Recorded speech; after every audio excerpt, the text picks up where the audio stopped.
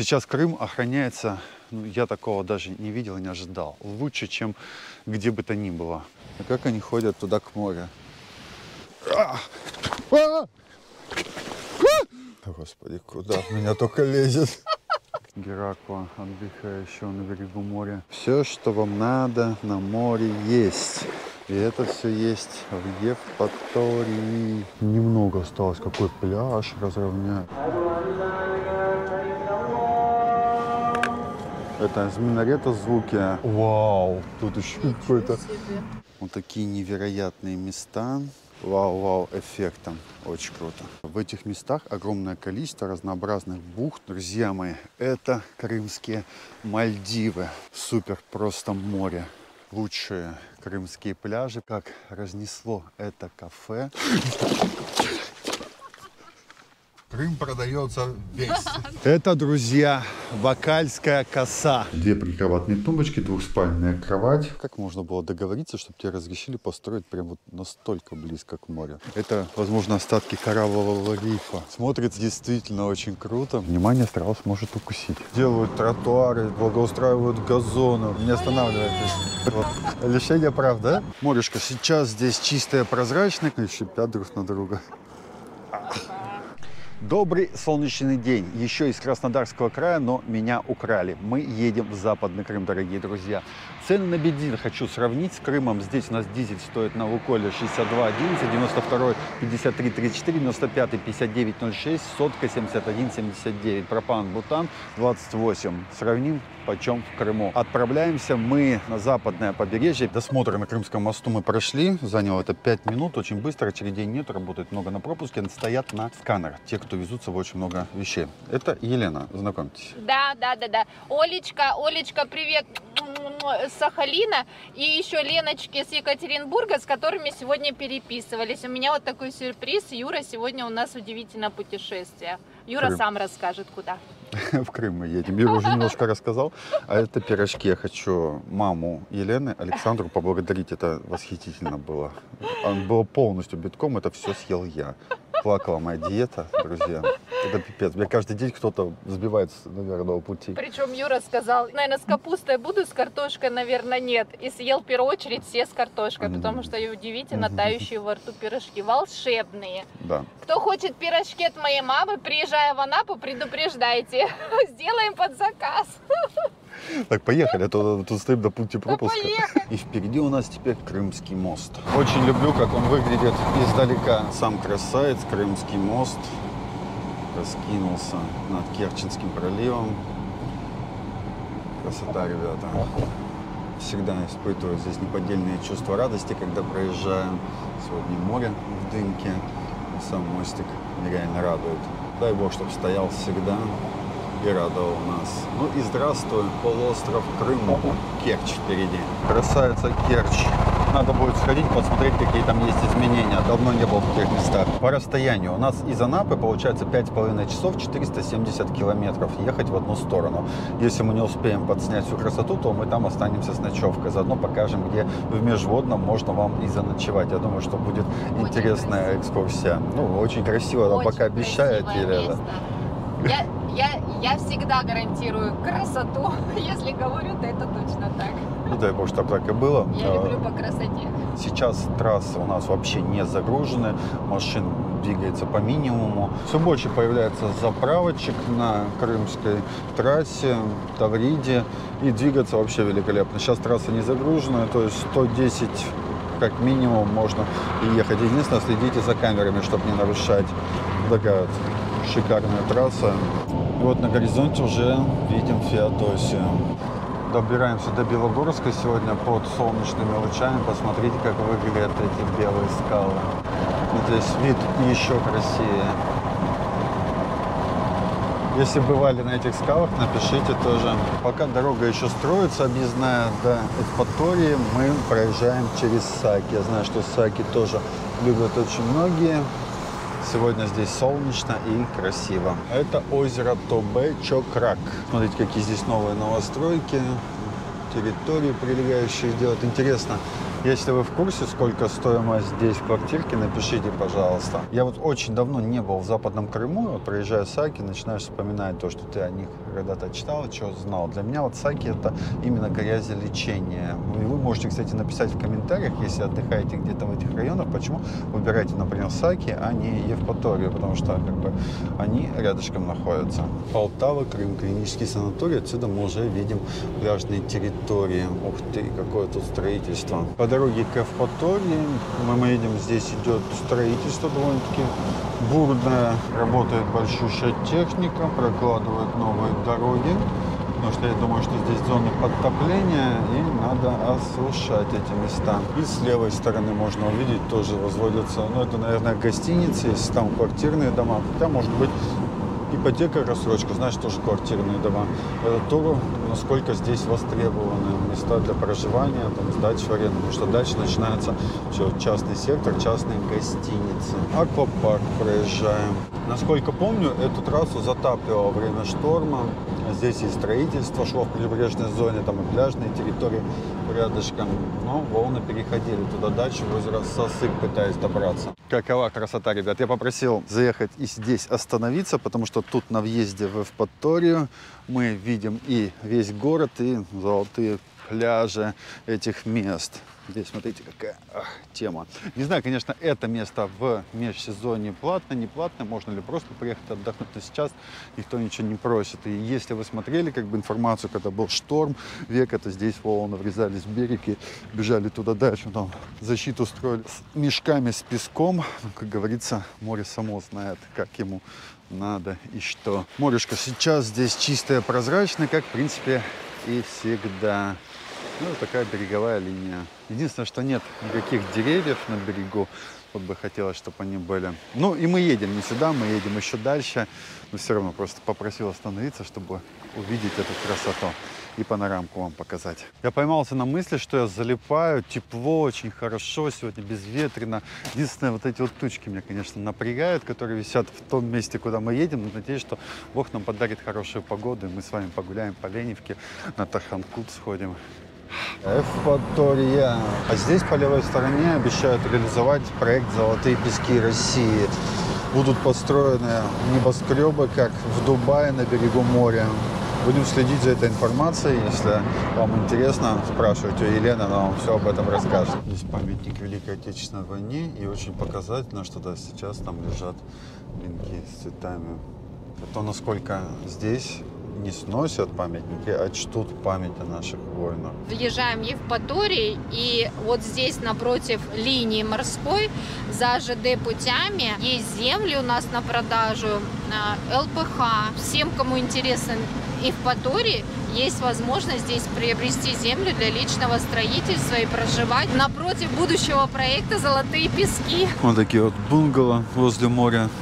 Кстати, все тут устояло, это радует. И чем-то Эвпатория напоминает Феодосию. Также въезжаешь, также песчаная коса, а дальше уже расположен город. Но на этом как говорится, сходство и заканчивается. Эти места, я думаю, многие любят, потому что здесь самые популярные, самые чистейшие пляжики. Земли ЛПХ 6 соток стоят 520 тысяч рублей. Очень доступная цена.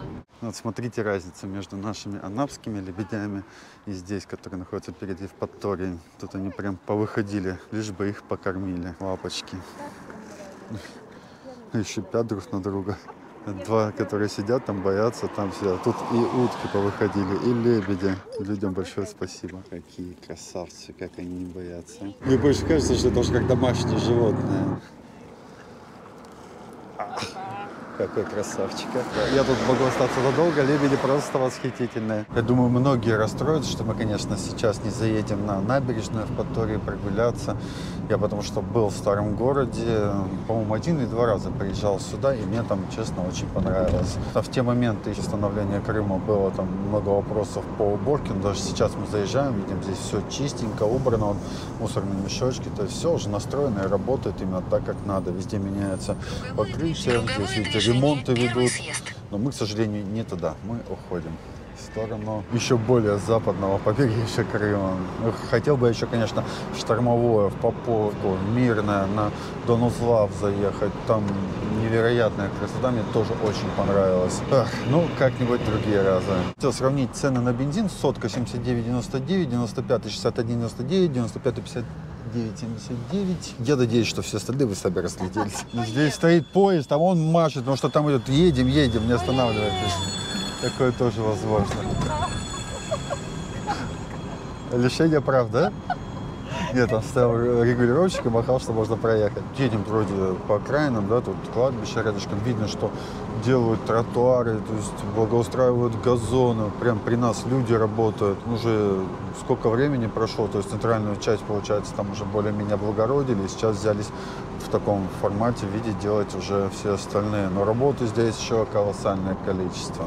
Дальше степи, степи, степи.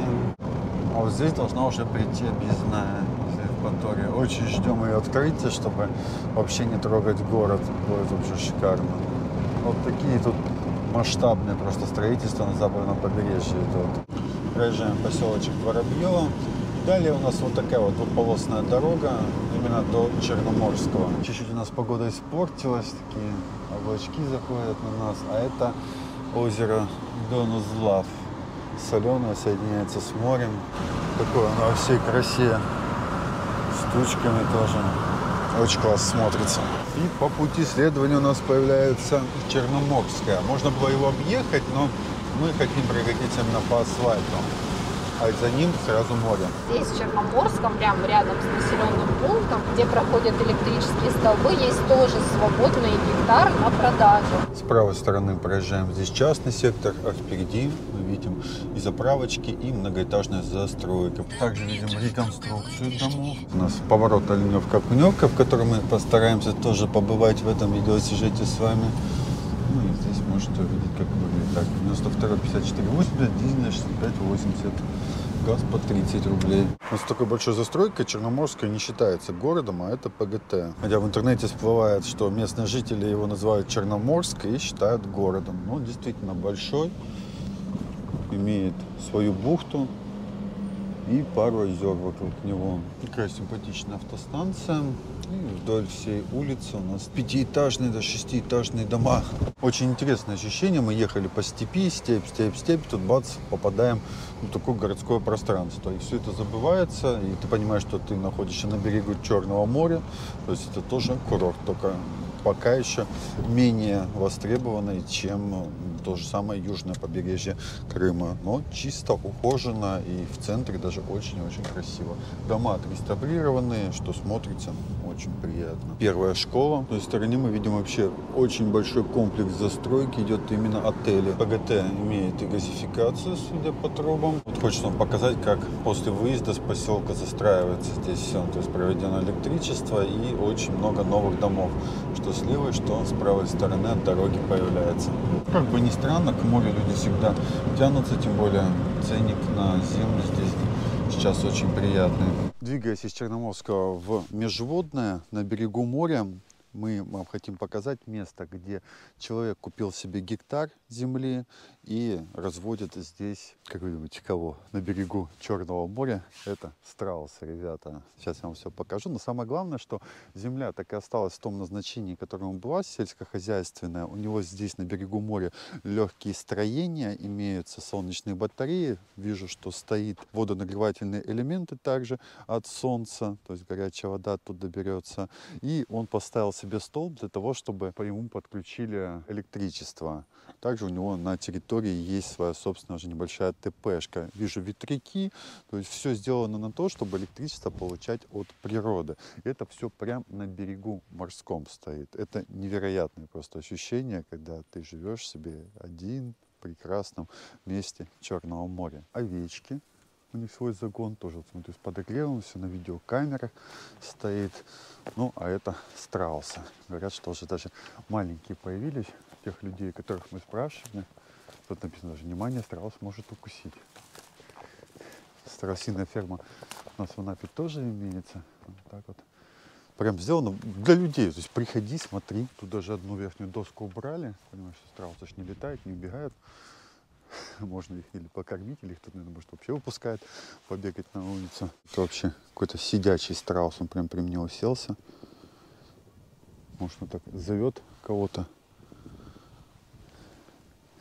Прикольно. Специально прошел участок в профиль, то есть, видите, небольшая площадь занимается под животных, а остальная, в принципе, свободна. Здесь я смотрю, что сделаны еще сваи под установку, походу, еще каких-то домиков, потому что вот тот вот контейнерного типа можно использовать даже для экотуризма, приезжать отдыхать с видом на море, ухаживать за домашними животными. Здесь уже сделана дорожка и, так понимаю, что спуск к морю.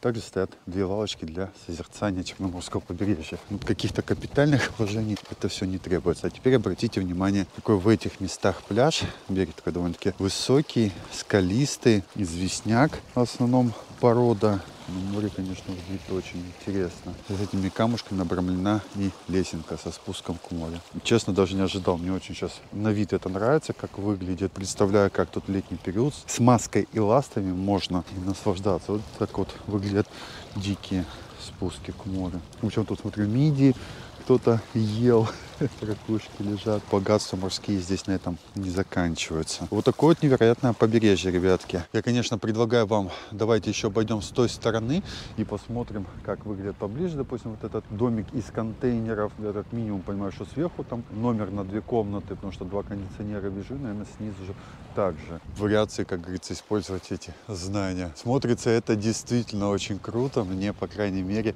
эти места заходят в таком формате на берегу моря еще. Я представляю, как это выглядело бы круче под солнышком. Под вечер даже стало холодно, пришлось одевать шапку. Хотя сегодня температура была плюс 14 градусов. Я надеюсь, что не обидится, если мы воспользуемся этой лесенкой, спуститься к морю. Я, конечно, просил разрешения, но нету ни у кого его спросить. Просто хочется ну, посмотреть, это как твой, чисто твой пляж. Личный. У-у-у, как я не зря спустился, ребят. Вот это да. Назвал это известняком, то есть это, возможно, остатки кораллового рифа. И за счет этого еще и у моря такой красивый цвет. Слушайте, на этом уровне, конечно, совсем все по-другому выглядит. Спустившись вниз, я тут просто обомлел от всех этих видов, от этой красоты, от фактуры этого камня, как это все смотрится красиво. Мне, по крайней мере, прям ну, очень понравилось. Я представляю, как здесь классно отдыхать в летний период. Я вот понимаю, что кто-то любит песчаные пляжи, я их тоже очень люблю. Кто-то любит, возможно, какие-нибудь каменные, галечные. Я бы с удовольствием на таком бы пляже отдохнул. Если вдруг вы отдыхали в этих местах, напишите, как здесь море вообще, как здесь э, плавание с маской, с ластами, может подводная охота, там поохотиться на мидии там или еще что. Я очень с удовольствием вас послушаю. Так что жду от вас ваших комментариев. Как говорится, от души делайте, ребятки, делитесь информацией. Специально отъехал немножко подальше от этого местечка, чтобы оценить масштаб. Здесь, кстати, вот берег еще выше чуть поднялся. И туда он уже переходит в порт э, или бухту, правильно назвать, Черноморского. Побережье довольно-таки интересное. Но сейчас посмотрим с той стороны как раз таки именно построенные домики. Конечно, хотелось прям пообщаться бы с хозяевами, но, к сожалению, никого из них не видно. Вот вам летний душ, вот вам из контейнера тоже сделан зимний душ, о котором я рассказывал с той стороны. Интересно была вот эта конструкция из двух контейнеров. Реализована она в виде домика, мангальчик стоит. То есть такая шикарная зона отдыха. Там я смотрю, что даже мебель была сделана. Вот так вот, ребятки, пользуйтесь. Я вижу, забор был. Возможно, что человек еще в эту сторону тоже решил прикупить себе землю. Мы по чужой территории лазить не будем. Нам так, в принципе, хватило, что мы сходили, соответственно, к морю. Навес контейнер второй таким боком лежит. Слушайте, ну прям круто смотрится.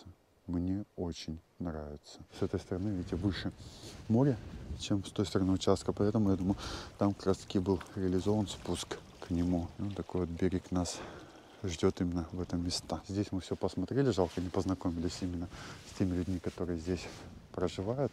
Ну им передаем привет, вдруг они увидят свою страусиную ферму.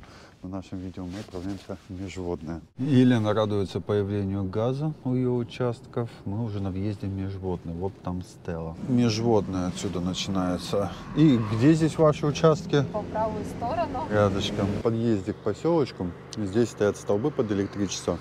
Газовая инфраструктура. То есть Елена очень сильно радуется, что здесь появились коммуникации рядышком с ее участком. Конечно, земелька выросла явно после этого. Это озеро Панское и его заливы. На въезде в межводное мы сейчас проезжаем вот пляжную территорию. Здесь такой белый песчаный, красивый очень пляж. Елена говорит, что здесь народу вот, было Да. в свое время больше, чем в Анапе на этом Стоя пляже. люди загорали, стоя. Вот эта вся коса, это вся центральный пляж с белым песком межводным. Также мы видим Троица, много гостиниц разнообразных, прибрежный район. Здесь очень сильно развивается. Межводницкий центральный пляж, он очень популярный с советских времен. У, у многих людей, особенно из Украины и Беларуси, приезжали в свое время. И здесь, правда, загорали люди, как говорят сейчас в Анапе, стоя. Яблоку негде было упасть, потому что, несмотря на протяженность 2 с лишним километра пляжа, а весь пляж был загружен отдыхающими людьми. Но сейчас это не такая загрузка, но это всего лишь дело времени. И пляжные территории, они остаются и они благоустраиваются и продолжают расти здесь как грибы, какие-то отели, мини-отели, гостиничные домики. Вот. Мы центральный пляж проедем, посмотрим оттуда. Там чертово колесо есть, все для отдыхающих, кафешки, гостиницы. Очень удобное расположение, выход сразу на прогулочную улицу, какие-то ресторанчики, кафешки, рыночки. Ну, очень уютный поселок, конечно, для отдыха, очень уютный. И плюс по правой стороне от асфальтной дороги два соленых лечебных грязевых озера Ярылгач и Джерылгач. Вот. Это тоже свою категорию клиентов привлекает для того, чтобы вот приезжать и принимать грязевые ванны, климатотерапия. А это вот улица, я почему остановилась, Как курортная. Паралия, да? Да, да, да, курортная улица.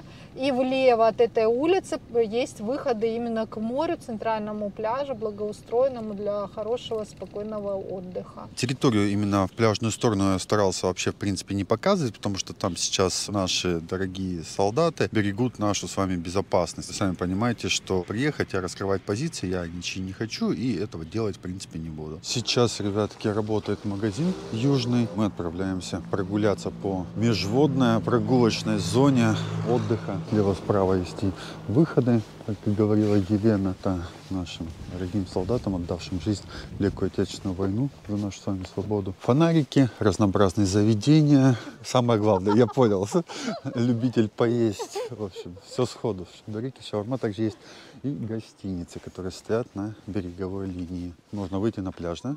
Туда дальше центр города, видно храм, универсам и все остальные нужные вещи. Ну, просто хочется именно морешко посмотреть, как выглядит в самом центре поселка. Пока нету листиков, можно разглядеть как раз для отдыха. Здесь вот такая большая территория, никем не используется. Ну, перед самым морем тут уже новые гостиницы построены. Ну, как это я, может, говорю, новые. Не знаю, по крайней мере, не выглядят свежее, чем та, которая сзади была. Везде сидят котики и что-то ждут. Не, эти какие-то не сильно общительные, все ушли. Кись-кись-кись. Ну, значит, их кормят. Они просто сидели, смотрели по сторонам. Выходим, кстати, по улице Пограничная. Здесь перед выходом кафе Пальмира. Все под видеонаблюдением. Пляжная территория. Кстати, песочек, слушайте, чем-то, мне кажется, на наш похож. Территория пляжа тоже после шторма века немножечко испортилась. И саму бухту межводного, и береговую линию. Кстати, есть немножко водорослей, которые повыкидывали, но море, говорят, здесь не цветет можем увидеть, насколько прозрачная водичка и манящая. Пляж тоже, видите, мелкий начинается, и туда идет на углубление. Ну и территория пляжа, видите, туда дальше по всей бухте расположена. Центральный пляж межводному от этого выхода с поселка идет вот по этой косе и прямо аж до озера Панского. Вот эта вся коса, весь этот периметр в сезон очищен, понятно, все белый песочек и везде, везде, везде стоят шезлонги, люди, обустроенные пляжи. Сейчас просто ту часть закрыли в этом году. Была только здесь пляжная такая обустроенная зона. Но вообще пляж очень большой. Единственный вопрос, это вот как можно было договориться, чтобы тебе разрешили построить прям вот настолько близко к морю? Наверное, можно. Поворачиваешь камеру, и в ту сторону тоже вот как это они делают? Просто вот капитальные красавцы, прям вот ну, в море строят. Там даже вот видно бетон залили сюда подальше. Это насколько мы еще говорим, давай еще, еще, еще, еще. Но так место прям интересное было бы, конечно, здесь и летом побывать. Надеюсь, меня позовут на летний Да, сезон. да, да, обязательно летом приедем. Посмотреть, как оно выглядит под Я уже солнышком, позвала. красиво. Да? Все, спасибо большое. Я напросился. Красотища, ребятки. Возле моря, кстати, гораздо теплее. Выхожу на пляж Межводного. Сейчас, конечно, середина сентября, народу достаточно мало, погода прекрасная, море теплое, вот эти беседки знаменитые с красными шторками, белоснежный песок, все как надо. Снимаю малую часть пляжа. Песок прям белый. Немножко медуз к берегу прибило. Вот такая тут красота. Дно просматривается даже на несколько метров от берега. Еще одним из прекрасных таких мест становятся два озера Яралгач и Джаралгач. Они рядышком и разъединяет их вот эта вот дорога, которая ведет в поселочек. Елена говорит, что эти озера очень соленые, и здесь в летний период времени люди обмазываются грязью, а потом обмываются уже в озере. Очень полезно, грязелечение. Если вы здесь были, то пишите об этом. А так как водичка еще и очень соленая, то это оказывает и свои свойства, как мертвое море, что ли, на организм. Сейчас воды здесь много, видите, что местами мы туда проезжали, там дорога практически перемывается. Ну, а так это в нашем, наверное, восприятии, как лиман Витязева. Единственное, что здесь, видите, у нас не ил сразу идет, а какие-то песчаные насыпи. Говори. Земельные участки вот за озером Джералгач, там есть свободные гектары земли тоже на продажу. Отсюда можно разглядеть, насколько много построено гостиниц. И больших, и маленьких, разных. Это вот как раз таки о популярности среди туристов этого места. Вроде бы западное побережье. А Что мы о нем знаем? Да практически ничего, потому что находится далековато, но здесь свой самобытный отдых. 5 километров, не разгоняйтесь выше 50. Ремонт дороги. Сейчас мы выезжаем из Межводного и можете увидеть, как как раз таки поля здесь осваиваются и застраиваются. И газ приходит, и электричество есть. То есть межводное постоянно развивает, потому что возле берега моря, как вы понимаете, всегда есть желающие купить землю и вложиться в инфраструктуру. Как с одной стороны дороги, так и с другой стороны дороги. А вот там уже за обрывом это море. Деревья, от которых мы проезжаем, это раньше здесь были оливковые сады. Сейчас их уже не возделывают. Сейчас проезжаем миндалевые сады, молодые, насаженные несколько лет назад. Фермер переехал сюда в Межводное из Тюмени. Здесь сажает миндалевые сады, персиковые, виноградники. То есть мы сейчас вдоль лесополочки едем к одному из участков, который принадлежит Елене. И тут вот спаханное поле, а впереди виднеется морешко. Красиво здесь, конечно. Туда ведет и более хорошая дорога, но мы решили как бы сократить расстояние. Посмотрим, что из этого получится. Сейчас проезжаем здесь. Вот фермер живет уже давно. Тут деревня, как называлась, Калистая. И здесь у них даже электричество есть подведенное. Вот рядышком берег моря. Мы уже практически подъехали на участок. Здесь и курочек держит. Вот мы сейчас находимся по кадастровой карте как раз таки на том участке, который чуть больше двух гектар. И находится вот он здесь, с правой стороны.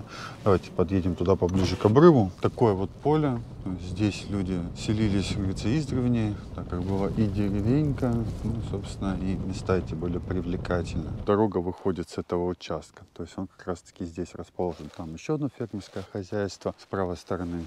Еще приехал человек, купил себе, огородил. Самое главное, что это в 250 метрах находится от Черноморского побережья. То есть все максимально близко. Приезжайте, покупайте. Выглядит пляжи в летний период. Там можно было подходить, посмотреть. То есть даже песок мы можем с вами различить. Вот такой замечательный закат на наших полянках.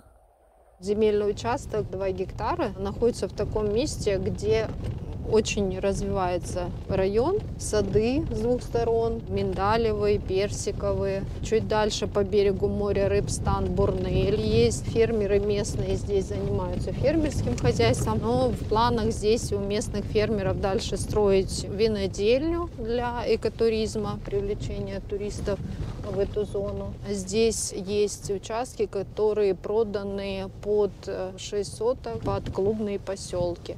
Сейчас просто это этого ничего не видно. Но когда все будет спокойно и наступит другие времена, я думаю, здесь будет очень активно развиваться инфраструктура и туристические объекты будут появляться. Мы специально возле страусиной фермы показали, как выглядят пляжи. Они здесь тоже очень похожи на то место, но тут невозможно к ним подойти из-за того, что там ведется охрана нашего Черноморского побережья. Ребятам мешать как бы не хочется и создавать нервозную остановку, бегать там с камерами тоже. Поэтому все как есть, я вам по-честному говорю, то есть нас охраняют и берегут. Это только плюсом является. Поехали дальше, посмотрим, что здесь на западном побережье есть еще. Вот здесь с правой стороны огромные территории под сады ушли, а с левой стороны ну, сажают пшеницу. То есть земли здесь очень хорошие и плодородные. Друзья мои, прошу прощения за то, что небольшой беспорядок я тут навел в номере, но обзорчик хочу вам показать. Итак, гостевой дом Лидия, номер двухместный, прекрасный.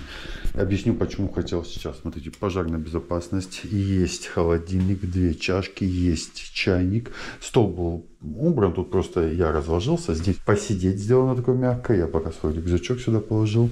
Есть кондиционер, телевизор и двухспальная кровать. То есть, ну, прихожая, да, получается, клево. Мне просто понравилось, как сделано. Дальше две прикроватные тумбочки, двухспальная кровать. По всему номеру везде реализована плиточка. Так выглядит телевизор. Далее мы попадаем здесь такие две дверки. Одну открываешь, попадаешь в санузел. Здесь большущая душевая. Есть раковина, зеркало, унитаз, фен, набор полотенцев и окошко для проветривания и вытяжка. Здесь другая дверка находится в этом месте, гардеробная, то есть огромное количество места для вещей, есть плечики, куда повесить полочки. Ну и после кроватки у нас есть прикроватные бра. Стоимость номера 2000 рублей за ночь. Мы пришли в гости к Елене. У нее тут не номер, а целая студия. Есть, квартира. да, диванчик такой раскладывающийся, стол перед телевизором. Сейчас будем кушать. Здесь с правой стороны двухспальная кровать, две прикроватные тумбочки. Вот эти вот как бра работают вверху. Подсветки включаются, выключаются. Из набора посуды здесь холодильник, имеется микроволновка, чайник, чашечки. Также с плит-системой полочка. Да, кухня отдельно там стоит. Там ничего такого нет. Вот так выглядит шкаф. Тапочки, халаты. Все Все есть. есть. То есть это супер люкс номер А я называется. вот. Здесь раковина, зеркало, фен, набор рыльно-мыльных, унитаз, э, место для помывки здесь еще больше, чем там, то есть душевая большущий набор полотенцев. В общем, как номер, Все включено. все включено. Даже ужин. Отлично, ну сейчас я говорю. Примерно такая же стоимость, как и того номера. У меня небольшое уточнение. У нас номер мой стоил полторы, а номер Елены стоил две тысячи рублей. Смотрите, мы находимся в гостевом доме Лидия, и я вам хочу показать просто, как он выглядит, потому что Елене он очень нравится, она прям от него в восторге. Понятно, что в зеленое время года, которое сегодня настало, весна, Поздравляю с этим. Я сегодня видел рассвет с верхнего этажа. Это было прекрасно. И дай бог, чтобы вся весна прошла в путешествиях. Ну, только благодаря вам это можно сделать. Поддерживайте донатиком по номеру телефона, который видите на экране. Буду вам благодарен от души. Узнаем с вами вместе очень много мест. У меня есть желание купить палатку и поехать прям такое бюджетное путешествие, чтобы нам надо было только деньги на бензин, да, на какую-нибудь гречку сварить, чтобы ее на костре и все. Ах, мечты. Надеюсь, они исполнятся в этой весной. Находимся мы недалеко от самой бухты, от моречка. Называется это улица 70 лет октября. Здесь парковочная зона. И заходим на территорию. Тут даже продают какую-то выпечку. То есть, в принципе, все очень симпатично и красиво. Я рассказываю со своих слов то, что вижу. Как бы меня никто не просил, ну, кроме Елены. Говорит, посмотри, какая красота. Есть котики. С правой стороны это территория бассейна, а вот там такая сверху смотровая зона. Здесь вообще гостевой дом выполнен в таком великолепном не знаю, замком, готическом стиле. Елена говорит, это греческий стиль. Посмотрите, как тут заплетено все растениями, вьюном. И смотрится вот в этих двориках все невероятно красиво. Ты гуляешь в каком-то оазисе. И мне, по крайней мере, это очень нравится, особенно вот с такими мостиками. Вход в сам бассейн, тут, смотрите, оформлен такими вот скульптурами. Узенькая лесенка. И здесь просто невероятно красиво. Красивые рисунки, сам бассейн очень интересной формы, с оформлением, при этом довольно-таки глубокий и с небольшой такой зоной джакузи. Здесь душевая. Поднимемся вверх, мимо вот этих вот невероятных павлинов. Вверх ведет у нас такая лесенка, а здесь, да, вот, рыбат, надстроечка с виноградинками. Ну как это круто! То есть каждый, говорится, уголочек приведен вот в такой вот вид прям сверхинтересный. Помимо номеров тут есть и солевая комната, и сауна. Это насколько мне вот Елена рассказывала, я знаю, сам не видел. Еще раз говорю, это не за деньги обзора, потому что мне самому здесь понравилось. Смотрите, такая арочная конструкция типа лесенки. И здесь, я так понимаю, стоят, наверное, какие-то столики, можно отдыхать. Туда мы видим озеро Джаралгач. Здесь следующее идет, между теми домами, это озеро Ярлгач. Дальше называется Ярлгачская бухта.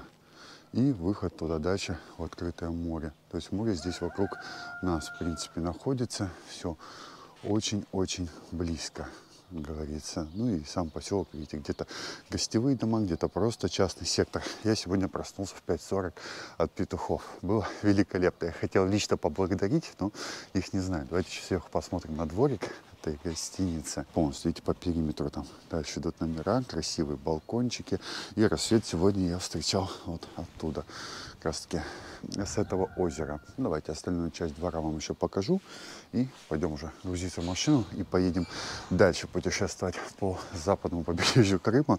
У нас нюансы вчера были, нас там задержали немножко, но все решилось, все хорошо. Если что, как говорится, ищите меня на миротворце, ребятки. Проверяйте, если я там или нет, тогда никаких вопросов больше не будет возникать. А так, вообще будьте аккуратны с камерами, потому что на них кто-то реагирует очень-очень тривиально. Но ну, а всем остальным терпение, нервов, все это пройдет, как говорится. Дай бог победы дорогим солдатам от души. Продолжаем смотреть на гостевой дом. Я что-то много времени да, ему уделяю, но действительно такие встречаются очень редко. Здесь вот Елена хвалила тоже номер, говорит, очень красивый, интересный. Посмотрите, какие скамьи, вот дерево. Я отдыхал в 18 номере. Мне, в принципе, там было комфортно. Петухи до сих пор поют. Здесь, представьте, вот этот вьюн тоже покрывается зеленью, как закрывает полностью стену. Елены номер был вот туда, по прямой. Здесь альпийская горка. Я думаю, с водичкой она тут вообще создает уют. Такая вот беседка посередине. И вот в таком оформлении сделаны скамеечки. Монетка лежит. И во многих местах нахожу монетки наверное, чтобы денежку приносила, чтобы привлекала туристов. Тоже такая красота. Здесь номер 15 вход. И Елена говорит, что все номера разные. Мы вот оттуда с вами смотрели, смотрите, дракон. Нет, наверное, морской конь какой-то, не дракон. И там их тут три, и три абсолютно разных. В общем, человек, художник, который занимался оформлением, ну и хозяйка этого дома. И дай бог, чтобы у нее, как говорится, было больше хороших гостей. И люди проводили здесь время с удовольствием. Вот такой один из уютных двориков западного крыла, поселок Межводное. Пишите ваши отзывы, если вы здесь где-то отдыхали, тоже как вам понравилось, не понравилось. Едем на косу. Здесь рядышком есть еще место, называется Брунель. Там порт такой небольшой, где рыбаки вывозят свою рыбу на берег, которую поймали в море. И там, говорят, можно купить прям сразу свежую рыбку. У нас было в планах туда заехать и вечером вообще приготовить здесь еду.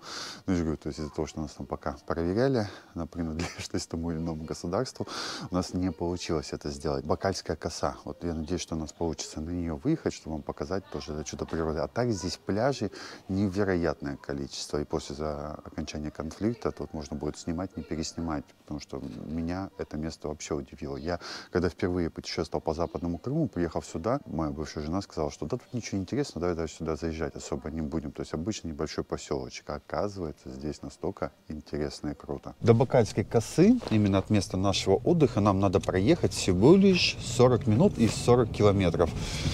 И Елена в путь! Ура!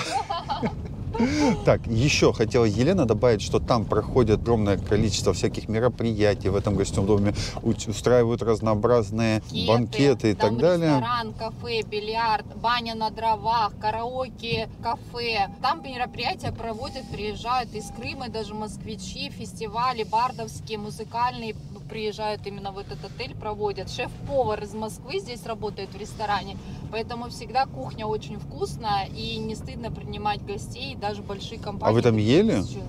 Но я летом не была, я в кафе не питалась. Ну вот смотрите, как говорит, вот это вот рекламщики, я как прям очень люблю. Я не ел, но говорит, кухня не стыдно. Но я верю людям, кото- которые э, очень честно, правда, делают свою работу. Ну, номера и сам гостевой дом мне понравился. По просьбе Лены я его даже подснял, вам показал. Все, в путь, ребятки, смотреть будем Бакальскую косу, если у нас получится туда пробраться. Самое интересное, что, походу, нам навигатор наврал. И вот смотрите, мы по такой вот шикарной дороге, две полосы, она новая, 10 минут. осталось 10 минут. а да. То едем есть- тоже 10. То есть два раза нас наедали. Да, 20 минут. Посмотрите, куда мы едем, ребятки. Дымка, туман. Бесконечность такая, и зеленое поле рядышком, красота. Это населенный пункт Стерегущее. Вот до берега моря, видите, туда 7 километров мы сейчас доедем. Здесь есть АЗС, мы на ней будем заправляться. 95 59 80, 92 54 80, дизельное топливо 65 70 и газ 30 80. Заезжаем. Заправка называется Red Petrol. Мы заправились. Я тут начал думать о том, чтобы купить еще одну сим-карту от волны, чтобы у меня была не только наша краснодарская связь, но и крымская местная. Вот здесь лета есть такой у них тариф, 500 рублей в месяц, безлимитный интернет. Прям мечта мечты.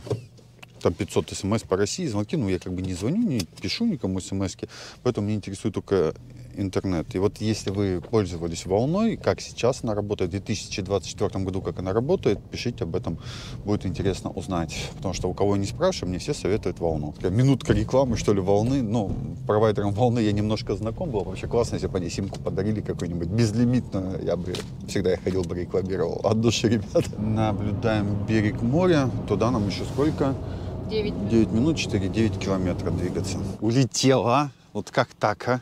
Хотел вам показать цаплю, ребятки. У нас обзор получается просто фантастика. Море слева, море справа, туман. А это, ребята, Бакальская коса. Вот в левую сторону это ландшафтно-рекреационный парк Бакальская коса. Слушайте, какое здесь море прикольное. Елена говорит, что летом сюда приезжала, здесь вообще была тоже красота и чистота, но в зимний период шторма выкидывает немножко водорослей. Ну, сказать, что как-то плохо все выглядит, я не могу. Песочек здесь, смотрите, вот такую фракцию имеет. Я думаю, что я все-таки вот туда пройду. Там мыс песчаный есть и морюшка. Невероятно красивая. Я представляю, как это все бы выглядело под солнцем. Ну почему мне не повезло с погодой? Я прям немножко даже расстроен. Ну, В ту сторону прям двигается, двигается очень далеко. И я слышал о том, что иногда там приливы приходят, э, коса исчезает, иногда появляется. То есть можно прям по воде идти на тот самый мыс. Если видите, вот это все наносы, то основной массив вот грунт приходит сюда как скалистое отложение. Вот оно здесь немножко даже вдается в море. И за счет этого как бы держится вся эта структура. Вот смотрите, я отошел уже от того места, где мы приехали. Здесь все это как песчаный такой полуостров. И вперед уходит тоненькая коса между двух морей. С той стороны у нас волны. Прям видно, да? Море такое бушующее. Ну, а пошел берег. Здесь за счет того, что ветер отсюда дует, оно такое гладкое. И вроде бы море одно, а с двух сторон оно совершенно разное. Ху-ху! Дорогие друзья, посмотрите, два моря. Ну, море одно, но оно разное. С этой стороны бушующее, с той стороны гладкое. И это Бакальская коса. Невероятное явление природы. И я его вижу и радуюсь, что в таких местах удается побывать. К большому сожалению, мы не видим, конечно, мыс песчаный, хотя вот где-то здесь вот можно по этой косе прям до него дойти. Ну, бывает, это не расстройство, значит, будет повод сюда вернуться, чтобы ощутить, как это, допустим, более теплое время, эти два моря соседствуют. Ну, как одно море, просто разделенное косой. Просто здесь оно, мне кажется, такое мягкое, нежное, здесь такое более бурлящее, неспокойное. Ну, место фантастическое. Я очень рад, что я побывал здесь. Еще представляю, как я дойду до того мыса песчаного и вам все это покажу. В общем, ждем теплую погоду и сюда обязательно вернемся. Едем теперь на мыс Тарханкут, хотя мы в принципе-то о Тарханкуте как полуострове и находимся, если вот так разделять эти места, но нам хочется в Оленевку. Или оленевку. Как правильно? Пишите в комментариях. Мне будет интересно узнать. Особые замечания. У нас зимой песок, он слеживается, становится такой твердый. Здесь вот из-за его фракции такой ракушечной, он очень мягкий, поэтому довольно-таки нелегко ходить. Но также есть на Бакальской косе и такие колсы из ракушки. Вообще морские, но они обычные для всего нашего побережья. То есть у нас точно такие в Анапе. Но место уникальное на самом деле. Я таких ни разу не встречал, чтобы вот такая коса уходила куда-то в море песчаное. Честно, классно. Мне понравилось. Друзья, вот здесь в этом районе заповедного парка Бакальская коса а, есть в районе поселка Аврора земельные участки по 6 соток. Вот, тоже предложение очень действующее, актуальное. 1,2 километра от асфальтной дороги, 600 метров от самого поселка Аврора, 3 километра от моря. На пляжах Авроры тоже купаются. Сама заповедная зона Бакальской косы, она не подлежит манипуляциям, как продажа. А вот в поселках рядом с Бакальской косой есть очень интересные предложения. Поэтому, кому интересно это место, тоже можете обращаться. Я назвал вот Черное море, на самом деле вот с этой стороны это Бакальская бухта считается, но это Черное море, в принципе, с другой стороны открытое Черное море. Сейчас мы будем проезжать, там опять эта цапля прилетела. То есть на берегах Бакальского озера, посмотрите, какие красавицы цапли есть. Сидит, смотрит. Красавчик. Очень интересно то, что на Тарханкуте столько много интересных мест. И даже ну, вот парк Котлеш природный, и сам Тарханкутский заповедник. Но и от Черноморского до Оленевки, куда мы едем, там огромное количество разнообразных бухт, пляжей, источников, колодцев, куда можно спуститься, где можно отдыхать. И тут одному Тарханкуту можно посвятить, не знаю, неделю, наверное, путешествия по берегу моря. Потому что мест невероятное количество. Но вот попробуем самые такие известные зацепить. А вы пишите в комментариях, что хотели бы на будущее увидеть, и я затем составлю список и сюда приеду, более подробно вам все покажу. А до Ленивки нам навигатор показывает 80 километров, ехать один час по времени. То есть, ребятки, дорога, ну вот она двухполосная, везде асфальт хороший новый, без ям, то есть двигаться вполне себе комфортно. Посмотрим, как после Черноморского будет уже в сторону Оленевки, я вам покажу. Мы сейчас выезжаем из Межводного, поселок, который не только курортного значения, но и много местного населения, и со всей нужной инфраструктурой, поликлиника, детский сад, школа, все это есть для того, чтобы можно было постоянно проживать. Но сейчас на выезде из поселка еще будет э, очень интересная локация, местечко, которое по генплану возможно расширение границ Межводного, и там есть земельные участки очень привлекательные уже с газом. Мы сейчас это проверим. Вот мы сейчас стоим напротив участка, он находится с левой стороны. Здесь вот по левой стороне за полем озеро Панское, вот это Ярлчакская бухта, и прямо вот напротив здесь находится как раз таки участок Елены. Она не может нарадоваться, потому что здесь провели газ. Все коммуникации не особо далеко. В ту сторону мы вчера снимали, там были электрические столбы, проложена коммуникация, вот впереди стоит газовый столб. Друзья, участки только выехали с Межводного, 570 метров по кадастровой карте от границы ИЖС. Здесь есть свободные гектары на продажу, что делает землю привлекательной для застройки жилищного строительства, потому что границы ИЖС постоянно расширяются именно в эту сторону. В сторону моря как бы нет. Поэтому это особо ценное место в районе озера Панского и залива. Чер Черноморская. Возвращаемся. Вот вам, пожалуйста, строят тротуары. Вот вам еще одна школа. Когда мы ехали в Межводное, показывали школу номер один, а это школа номер три здесь находится. То есть поселки здесь довольно-таки живые все. Это ПГТ вообще. Черноморский. Я желаю ему скорее стать городом. Вокруг есть предложение от Елены по землям. То есть Крым продается весь. Вот так вот. То есть ну, тут я прям немножко прям позавидовал. То есть у них тренажеры поставили, так еще Под и под, под навесами. То У есть нас в Анапе они под крышей это вы из 90-х, Елена. Вот так вот. По левой стороне тоже и газ, тут коммуникации все подведены. И видно, как Черноморский, Черноморское разрастается. Отсюда до Окуневки 20 километров. Но, я повторяюсь, если заезжать вот по правому берегу, здесь столько красивых мест, что прям хочется все бросить и поехать по ним. Я там одни названия почитал, прям очень порадовали. Когда я был в прошлый раз в Окуневке, там только начинали делать дороги, поснимали асфальт. Надеюсь, что в этот раз она нас встретит более дружелюбно и удастся побывать и на пляжике Майами и уехать до маяка. Дорога шикарная в Оленевку. Везде обрабатываются поля, то есть идет развитие этих территорий. Но возле Оленевки продажи нет земель, так как здесь находится заповедник Тарханкутский. А в. Ну, до Окуневки, я надеюсь, что мы тоже доедем и покажем вам. Ну, Если вас ИЖС какой-то интересует, можете тоже Елену спрашивать, она вам и в Оленевке что-нибудь подыщет. Оленевка или Оленевка. С правой стороны у нас заказник Джангульское оползневое побережье находится. Можно туда тоже пройти, прокатиться. С левой стороны у нас заповедник Тарханкут, и там очень много известных мест, по которым я хочу с вами прокатиться. С правой стороны у нас сейчас будет лиман, мы подъедем к побережью и выйдем на пляж Майами. Вот с этой стороны мы видим этот самый лиман. Здесь, смотрю, отсыпают территорию, надо, чтобы вода через дорогу не переходила. И вот так вот сейчас выглядят дороги здесь. Я смотрю, что в прошлый раз не могу вспомнить, были ли тротуары, но помню, что здесь дороги были прям подняты. О, какой очень интересный, очень уютный поселочек. Мне он в прошлый раз понравился вот этими узенькими улицами. Представьте, тротуары с двух сторон, куча разных гостиниц. Причем некоторые из них в таком формате заброшенном выглядят. А вот это то самое озеро Лиманчик. Что сейчас прям интересно смотреть. Как-то в прошлый раз я галопом здесь пробежал, даже не посмотрел по сторонам, как что выглядело. Здесь дорога стала у нас уже шире, с левой стороны школа. Оленевский СДК называется, я там понимаю.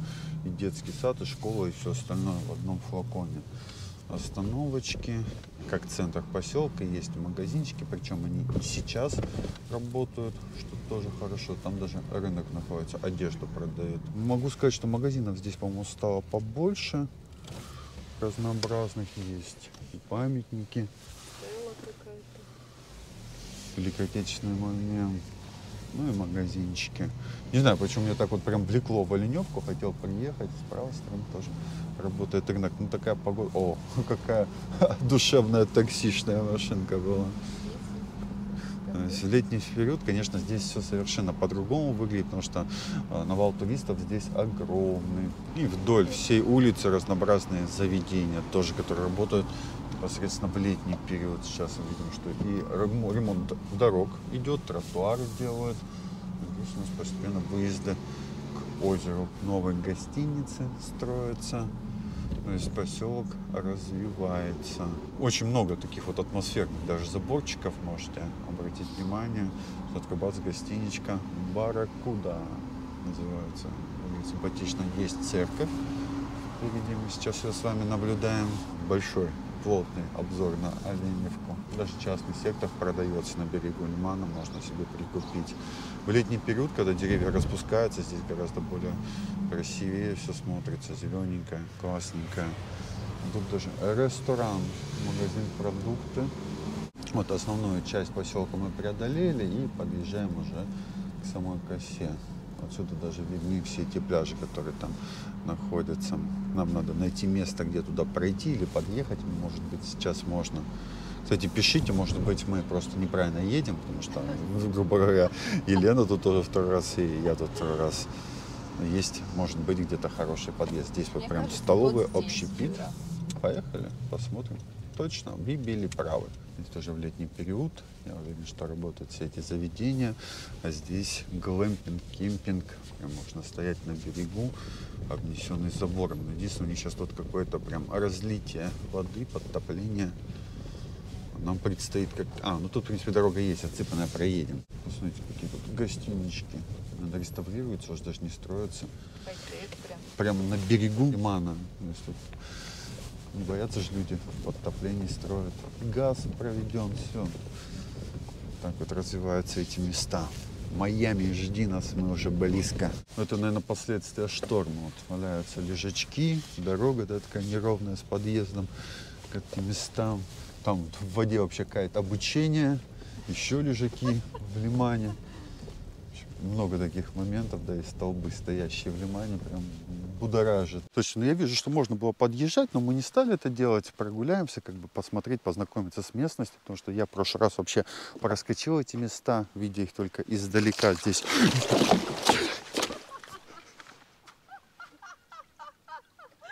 сейчас тоже это предстоит. Я что-то была не готова. Я говорил, давай заедем, да? Да, пошли пешком Значит, теперь технику осваиваем по краю или по центру? по центру. По центру лучше. Тут просто серединка прогибается, а так ее можно проскочить аккуратно. Да, просто кто-то весит в два раза больше. В общем, огонь, ребята. Ну что, здравствуйте, Майами. С приключением мы все равно с вами, крымские. Это место ценится за цвет песка, за цвет воды, за, наверное, самое лучшее место. Вы можете посмотреть по карте, как оно вдается в Черное море. И здесь вода невероятно чистая и классная всегда.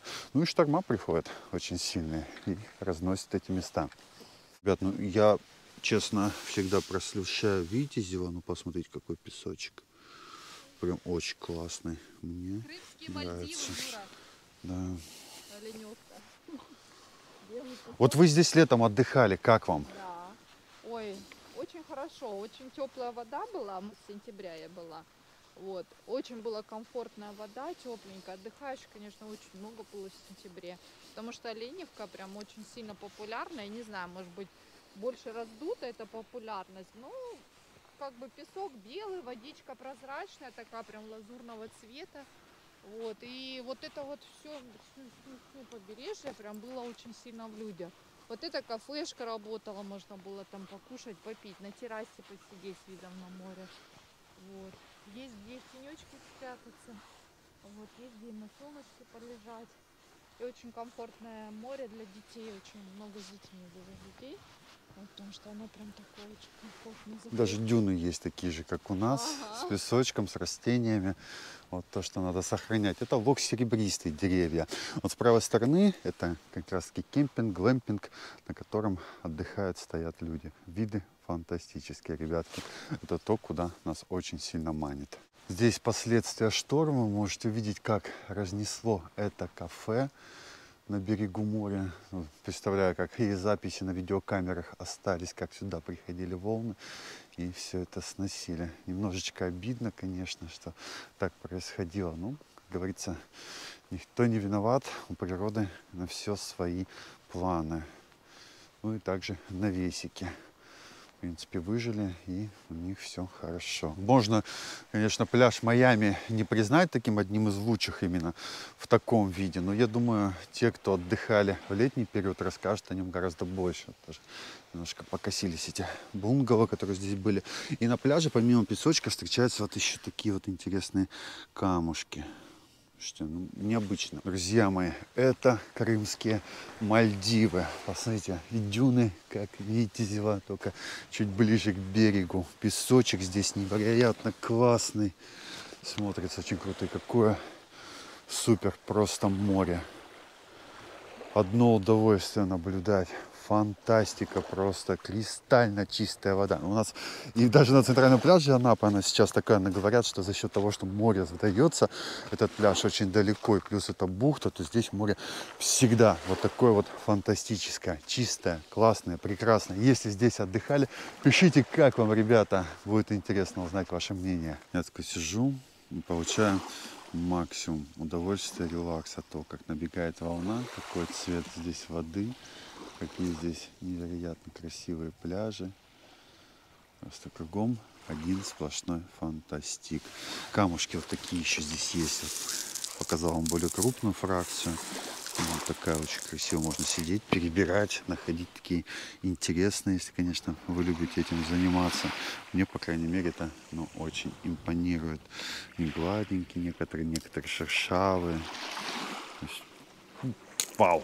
Эффект на все 2000%. А что, прохожу дальше. Как раз таки здесь, походу, были какие-то сейшины. И вот такой более платный пляж. Ну, и вижу, как вот все сметало на своем пути штормом. Походу, так стихии даже больше, чем я себе это представить могу. Надо будет посмотреть, как выглядело это все до штормов. И сравнить с тем, что мы сейчас с вами здесь можем наблюдать. Вот, летние туалеты. Это вот Бохо. И такая вот пляжная интересная территория. Я так понимаю, что или глэмпинг был, или еще что-то такое интересное. Вот это мне нравится. Такие вот ворота с очень интересными орнаментами. Я так понимаю, что они стоят в сторону заката. Туда дальше эти пляжики продолжаются. Понимаю, что к лету оно все будет тут восстанавливаться, будет все меняться, потому что ну, разрушений колоссальное количество. Можно приезжать тоже по весне, начало лета и смотреть, как здесь все будет меняться. Я опять жалею, что в прошлый раз, когда здесь был, ну не приехал за эту косу, не зашел, не посмотрел, потому что то, что я вижу сейчас, меня, конечно, прям очень радует и привлекает мое внимание. Места эти, как говорится, Богом данные, надо их посещать, получать удовольствие. Но вот разрушение дюн тоже от шторма моря, это, конечно, печально. Но вот таким вот мы увидели лучшие крымские пляжи по версии очень многих людей, которые сюда приезжают. Честно, можно и без шапки ходить, без куртки, там уже плюс 10 градусов, температура моря здесь тоже плюс 10. И здесь гораздо теплее, чем мы были с вами на косе до этого. Но я думаю, что пора отправляться дальше. Там дальше продолжение поселочка, как я сказал, там оползневые пляжики. Но мне больше хочется на эту часть Ханкута. Я хочу увидеть и затопленный корабль, и маяк, и чашу любви, много-много чего там еще есть интересного. Надеюсь, что вы продолжаете путешествие. Простите за длинное видео, ребята. Не хочу уделить на несколько, ведь все-таки такой, не знаю, вайб от Крыма должен передаваться именно постоянно, постоянно, непосредственно к вам в экраны. Ну а вы, еще раз говорю, поддерживайте лайком, комментарием и делитесь со своими друзьями. И, кстати, прислали в телеграме уже. Посмотри, Юра, говорит, когда светит солнце, море здесь выглядит совсем по-другому. Мы приедем сюда, когда оно будет по-другому, но все равно, я думаю, в такой атмосфере тоже приятно гулять, тихо, умиротворенно и не жарко. То есть, ну так концепция вот на этом пляжике классная. Кабинки для переодевания, летние душики. Смотрите, как м-м, ароматным деревом пахнет. Прям очень классно. И еще с этой стороны дюн хочу запечатлять эти места. Ну, круто, классно, притягательно, мои дорогие друзья. Ну, скорее всего, как говорится, восстановление этих территорий. Смотрю, очень много нового строительства. Посмотрим, как это будет все развиваться. И в солнечную погоду желаю здесь побывать, поснимать. Я думаю, что мы еще вернемся обязательно сюда. Так что, друзья, следите за этим всем. Надо было просто вот не по краешку идти, чуть-чуть подальше, а то чуть не ушел под воду в этом месте. Чтобы ориентироваться, с левой стороны остается вся оленевка, мы поворачиваем направо, здесь, смотрите, какой-то поселочек застроенный есть, либо это тоже зона отдыха, вот кемпинг, и по прямой двигаемся в сторону маяка. Сам глэмпинг заезд остался с этой стороны, здесь вот экстрим пляж, парк называется это место, тоже смотрю, что какие-то последствия шторма здесь были, но проход туда, в принципе, свободной береговой линии, даже сейчас не было закрыто. Здесь вот направо тоже глэмпинг, возводят дома на берегу, тоже как-то на сваях их строят, и много вот таких вот деревянных домиков построено, то есть максимально востребовано как раз таки. Сейчас можно и строить по программе, которая предлагает государство. Отсюда экскурсии в летний период проводились. Я то, что помню, мы подъезжали к этим местам. Слушайте, ну здесь прям очень сильно все застраивается глэмпингами, потому что когда я был несколько лет назад, этого еще почти не было. Там квартал домиков крымский. И, слушайте, это Оленевка Виллаж с левой стороны и с правой стороны эти домики похожи на то, что я в Абхазии отдыхал, тоже такие двухсоставные, только они здесь больше деревом вообще-то. Посмотрите, как их размотал здесь ветер. Жесть, конечно, прям несколько, 5-6 домов прям уничтоженных. И с той стороны тоже, насколько они хлипкие и как приносили бабки. Это просто фантастика. То, что они даже ветра не выдержали. И здесь сейчас сломанные дома. Если не ошибаюсь, эти домики, по-моему, тоже относились к Библиоглобусу. Могу ошибаться, если нет, то пишите об этом в комментарии. По крайней мере, я предложение от них в этих местах на Э, возможность расселения видел. Но вот остановились мы тоже напротив еще одного разрушенного домика. Если кто в курсе, напишите, пожалуйста, сколько стоимость была. Я думаю, около 5000 можно было полдомика снять в летний период, э, потому что я такие предложения слышал. Просто домики собраны из одной доски, которая поставлена на торец, поэтому, как бы, собственно, они и разлетелись от ветра ни утеплителя, ничего. То есть даже вот эти вот выглядят гораздо более такими мощными, которые здесь находятся везде, то там, то там, то там снесло. Восстановление их будет стоить копейки, поэтому, я думаю, особо собственники не переживают. Ну просто насколько крутой бизнес. Обнесли забором, утоптали дорожку, сделали какие-то там коммуникации в этом домике. Он прям небольшие, маленькие. Так, ну это все мелочи. Давайте не будем лезть в чужой бизнес. Смотрим. Подъезжаем мы к маяку. Не знаю почему, мне здесь маяк прям очень нравится.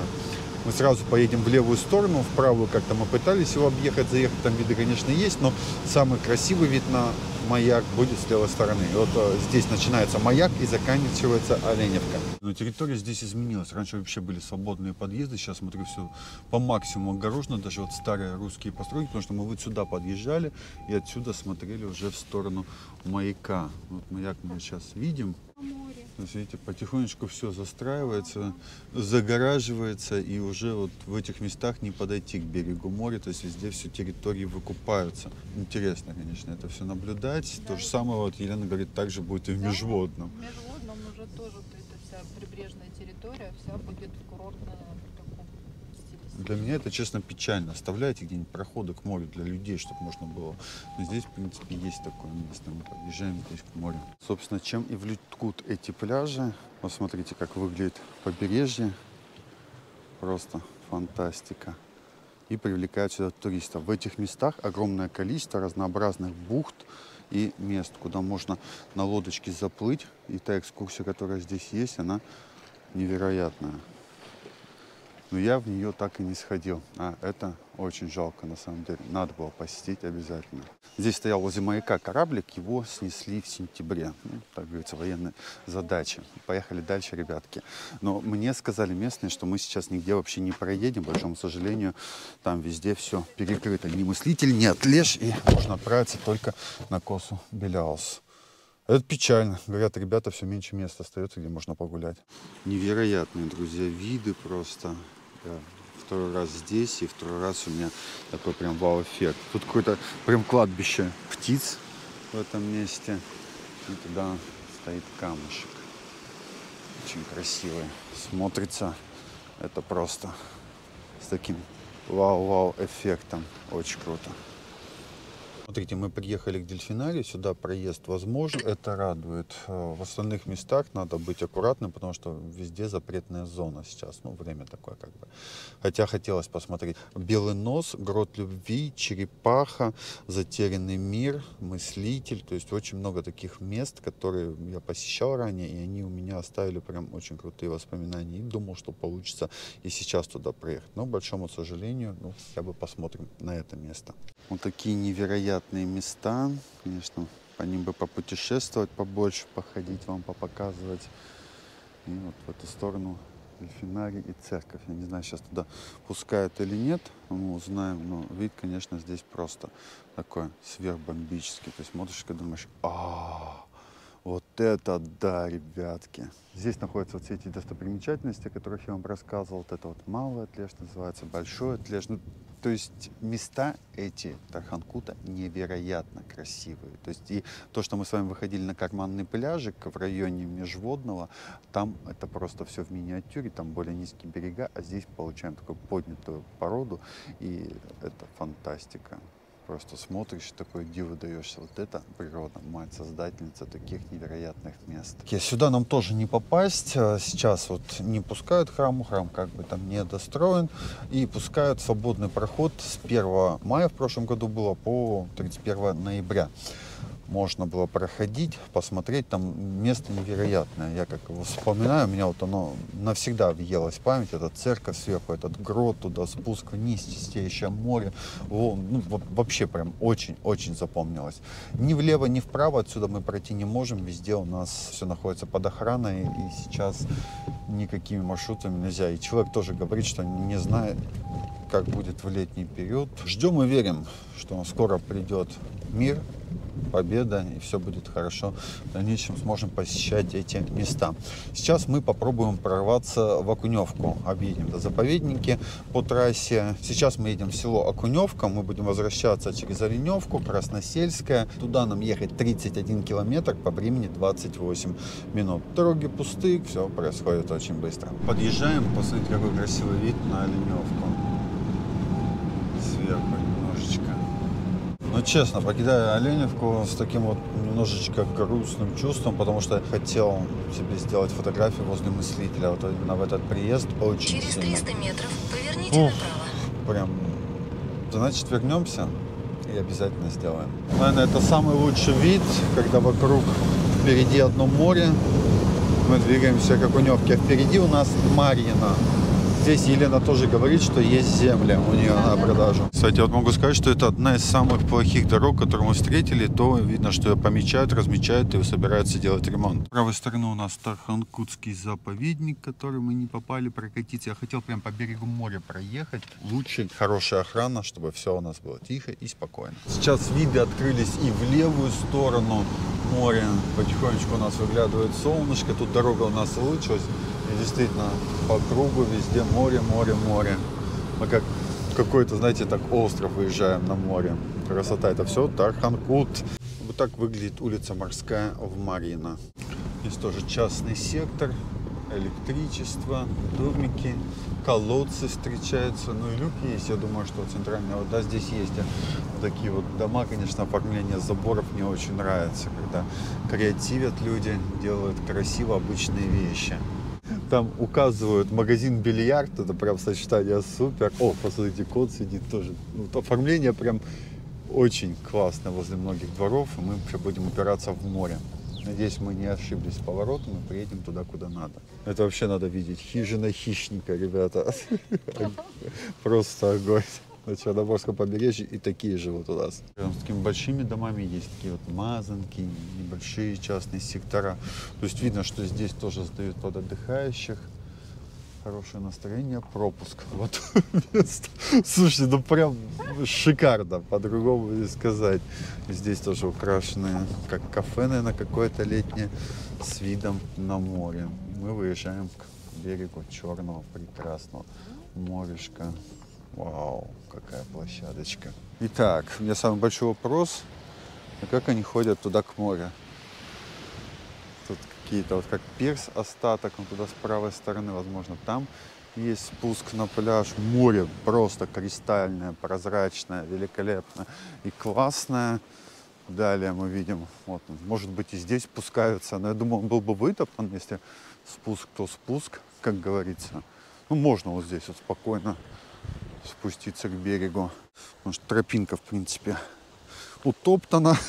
И мы идем, идем. Главное не подскользнуться и очень быстро не совершить этот самый спуск. И не забывать, что обратно за спуском всегда будет подъем. А! А!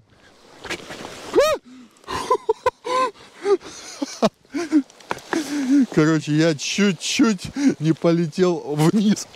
Сейчас бы с гипсом на пляже Марина оказались. Может быть и здесь был спуск, но шторм века сделал свое дело. Тут красиво смотрится.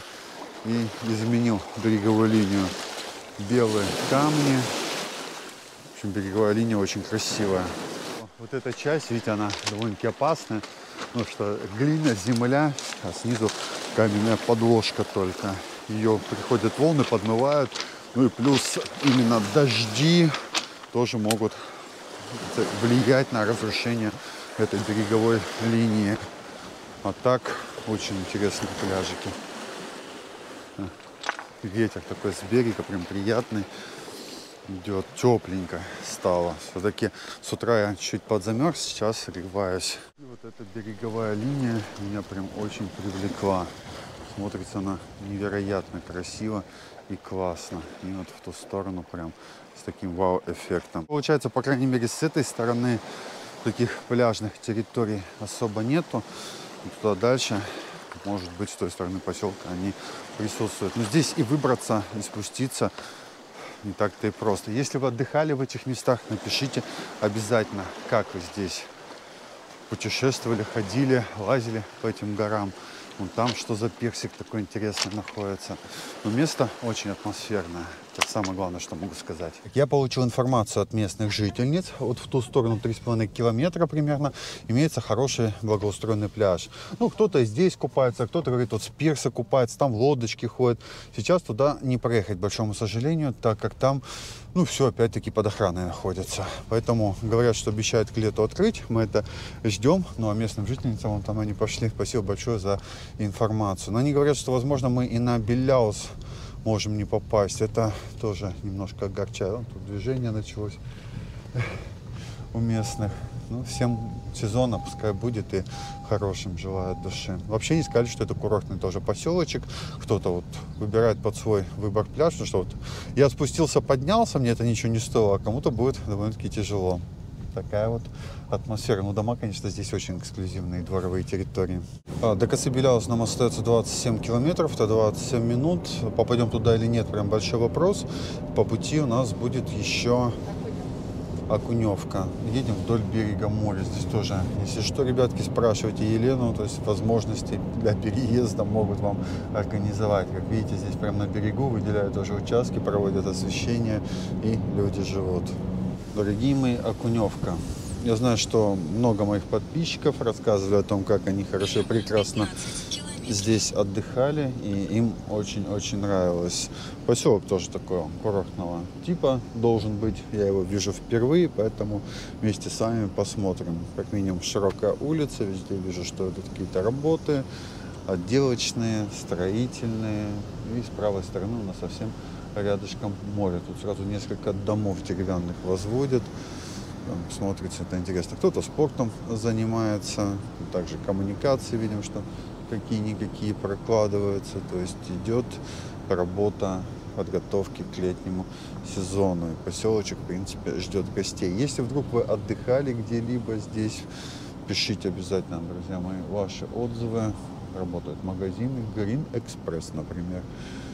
Надо попробовать здесь тоже куда-нибудь пробраться к морю можно выезды есть, посмотреть, как выглядит пляж. Здесь можно увидеть и отели, тоже такие красивые. Это даже, наверное, не отели, а какое-то элитное жилье на берегу моря, прям как замок свой собственный. Кстати, название такое прям правильное. Улица Набережная. Осталось еще найти, где на набережной проход к морю такие да, дома, придворовые территории, потом еще прихватил, вышел.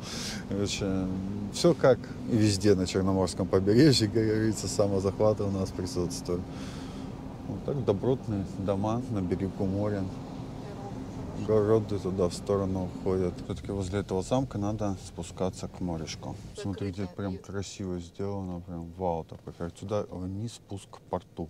Там тоже немножко перекрыто какими-то камушками написано, что закрыт въезд. Ну, может, тоже временно. За самой Окуневкой мы нашли пляжик чуть-чуть дальше, за самим поселком, в сторону косы Беляус. Туда мы, собственно, и отправляемся. Вот он, выезд из поселка. Так, ну, к сожалению, мы доехали до пляжика. Пляж сам, так чтобы выглядит шикарно.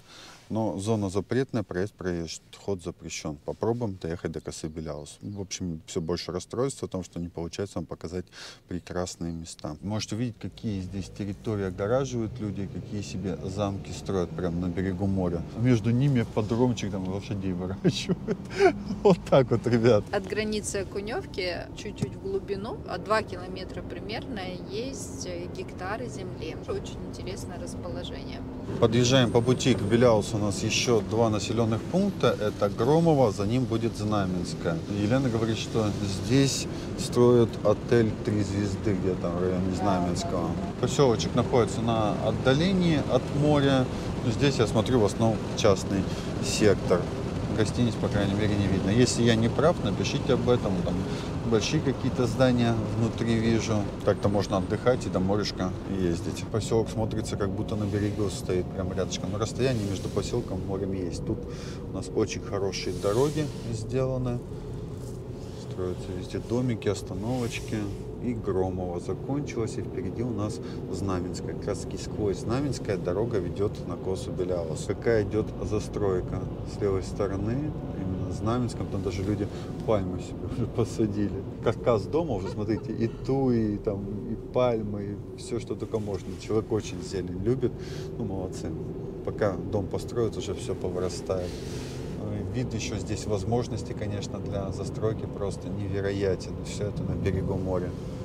Если отдыхали в этих местах, пишите обязательно в комментариях. Я знаю, что Коса Беляус это самое притягательное. Хотя это везде, на каждом месте, куда приезжаю, самое-самое, ну, одно из самых притягательных мест Крыма. И оно очень сильно влечет к тому, чтобы сюда приезжать и отдыхать. А вот там впереди, прямо на берегу, я смотрю, большой отель строят.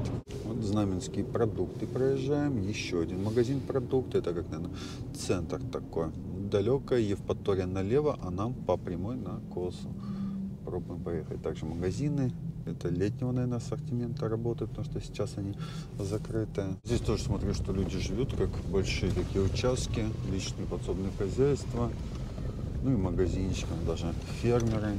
То есть в этих местах у Елены тоже есть возможность предложить вам Да. участочки прям недалеко от моря. Если что, обращайтесь к ней.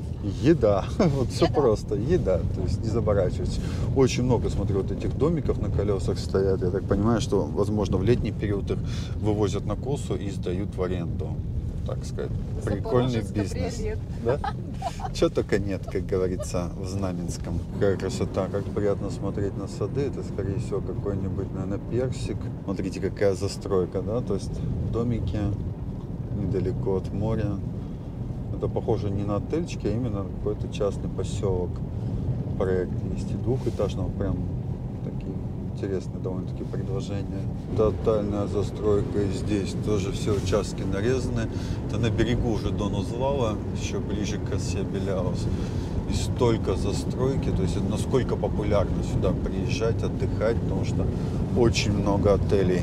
Golden Cream называется местечко. И Уже большие деревья, значит, давно этим местом здесь занимаются. Курортный поселок Золотой Крым, вот так его назвали. Дыни, арбузы. И вот она впереди, коса Беляус. С правой стороны мы уже видим песчаные пляжи. Смотрите, тут насколько шторм тоже сильно приходил, даже заборы подмыло, размыло. Местечко кемпинг. Кемпинг тут 600 рублей одно место стоимостью услуги прибрежной зоны. Сколько здесь разнообразных построек. Дальше там гостиницы начинаются. Ну вот с кемпинга можно посмотреть, как вообще, в принципе, коса и пляжи здесь выглядят. Ну, даже, да, получается, наверное. Из поселочка сюда возят людей, собственно, почему бы и нет. То есть трансфер-то приветствуется всегда везде. Если у нас есть такой, как говорится, сервис, то почему бы его и здесь не было. Пойдемте посмотрим на пляж. К сожалению, у меня видео записалось плохо со звуком, этот кусочек. Ну, давайте посмотрим. Здесь автобусная остановочка. Тут мы видим последствия шторма, как он сносил и заборы, и деревья.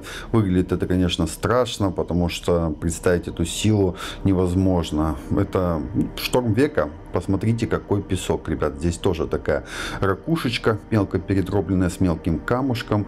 Очень-очень приятный на ощупь песок. Поэтому эти места и ценятся всеми любителями песчаных пляжей. Ну и с правой стороны лог серебристый, под натиском стихии прилег. Будем надеяться, что деревья все-таки выживут и все будет хорошо. И какая ширина этого пляжа. Это просто фантастика и восторг. Хотелось бы, конечно, и в летний период увидеть, как выглядел пляж. Мне прислали фотографии, лазурная водичка, прекрасное побережье. Спасибо всем, кто поддерживает в Телеграме мои путешествия, потому что там мы получаем с вами, как говорится, прямо из пылу жару ваши фото, отзывы и уже формировать свое мнение гораздо проще. Жалко, что, конечно, я не в прямом эфире озвучиваю свои эмоции, потому что они там были просто восхитительные. Придя на такой пляж, прям завидуешь тем людям, которые здесь живут, которые здесь отдыхают. Такая невероятная красота и просторы Черноморского побережья. Вы только посмотрите на этот цвет песка, на этот цвет моря. Они просто манящие. Так и хочется, конечно, раздеться, но водичка плюс 10, а я с собой не взял ни полотенца, ни шорты в это путешествие, потому что у нас такое галопом по Европам некогда отдыхать. Но дома сегодня я уже искупался. У нас море, кстати, плюс 9,6. Ну, давайте вернемся сюда и понаслаждаемся цветом прозрачной воды, лазурного, прекрасного черного моря. С другой стороны у нас Дон Узлав, а с этой стороны вот такая вот невероятная красота. Как я раньше здесь не бывал, почему сюда не приезжал, это самый большой теперь вопрос для меня. И желание посетить эти места в летний период, они остаются со мной. Надеюсь, что у нас получится и получится приехать сюда еще с палаткой.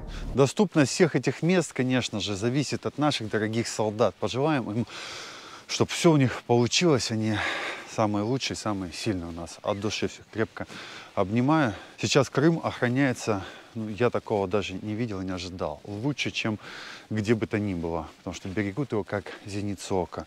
И спасибо всем, кто нам помог, как говорится, отснять этот материал. Я вам тоже от души, ребят, благодарен. Хотел показать, вот что почем на этом кемпинге стоит. То есть 600 рублей одно место с ковриком и спальником. Это за палатку. 200 рублей, если человек со своей палаткой.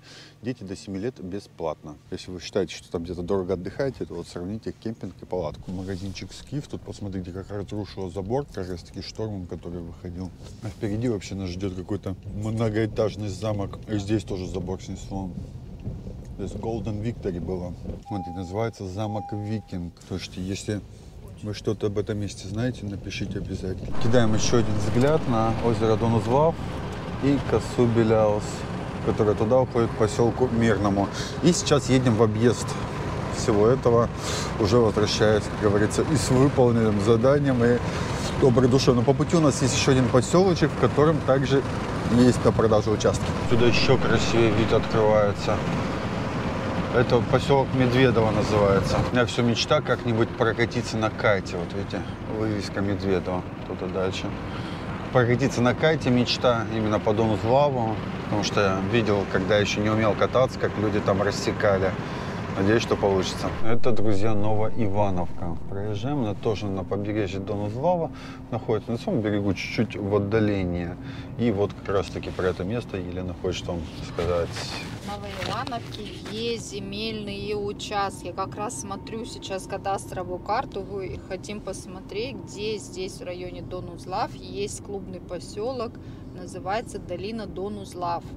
Кому будет интересно это место, обращайтесь, мы будем с вами подробно его смотреть, изучать. Ну вот, в принципе, территории сейчас с Юрой мы вам показываем. Итак, ребятки, вот здесь, на пересечении четырех дорог, находится как раз-таки эта территория подклубный поселок. Отсюда направо мы уже объезжаем озеро Донузлав. Пошла дорога. Так, показываю панорамочку. Но мы решили, что заедем на курорт Евпатория да, почему бы и да. Нужно показывать еще, потому что время есть, собственно, световой день продолжается. Конечно, и... максимально эффективно. Надо показать эту прекрасную западную зону Крыма. Именно так. Что недалеко от Межводного находится сама Евпатория. То есть, в принципе, около 40 минут на машинке, и вы приехали уже в большой город на берегу Евпаторийского залива Черного моря. У нас на въезде одного из город, частный сектор. Да, такой прям недешевый вариант, как говорится. И со всех сторон у нас, как бы, в принципе, есть жизнь. С левой стороны промышленная зона, есть уже второй подряд храм практически. Туда дальше мы видим высотную застройку и ведется строительство. Насколько все застраивается буквально. Новые дома растут как грибы. Это трамвайная линия у нас здесь находится. Мебельная фабрика «Мечта» с левой стороны. Да, я прям удивлен. Это вот все новострой. Город разрастается очень быстро. Я, в принципе, когда впервые попал в Евпаторию, был, ну, сначала набережная, там, ну, как везде, как бы ничего такого необычного. Потом, когда приехал в город, увидел высотную застройку, увидел, насколько большой город. Я прям, ну, вау. Мне Евпатория понравилась очень. Ну и сейчас мы с вами немножечко покатаемся и посмотрим по сторонам. Дома, сигналы, все как везде. Я что-то отвык от такого количества машин. Мы отходим в правую сторону, здесь какая-то рыночная территория находится. И город живущий, большой. Вот он, консоль строй. Там тоже новый дом. Каркас закрывают пеноблоком. Заправочки тоже большие есть. Мы так немножечко по объездным пытаемся добраться к набережной. Вот тоже новый жилой комплекс, пожалуйста. Заезжай, живи.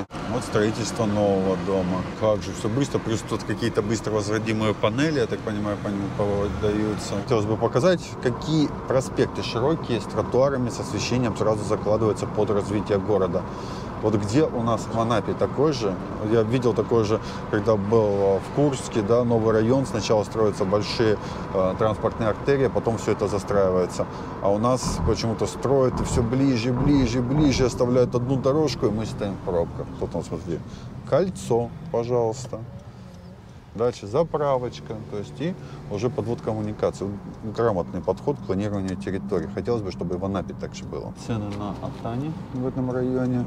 Мы обратно возвращаемся в Евпаторию, то что немножко проскочили поворот. Видно, что здесь раньше были какие-то промышленные зоны старые, их потихонечку сносят, хотя вот котельная вроде бы работает, да, там из трубы дымок идет, и застройка новых территорий. Где-то 100% школа. Добро пожаловать, пожалуйста, написано большая трехэтажная новая.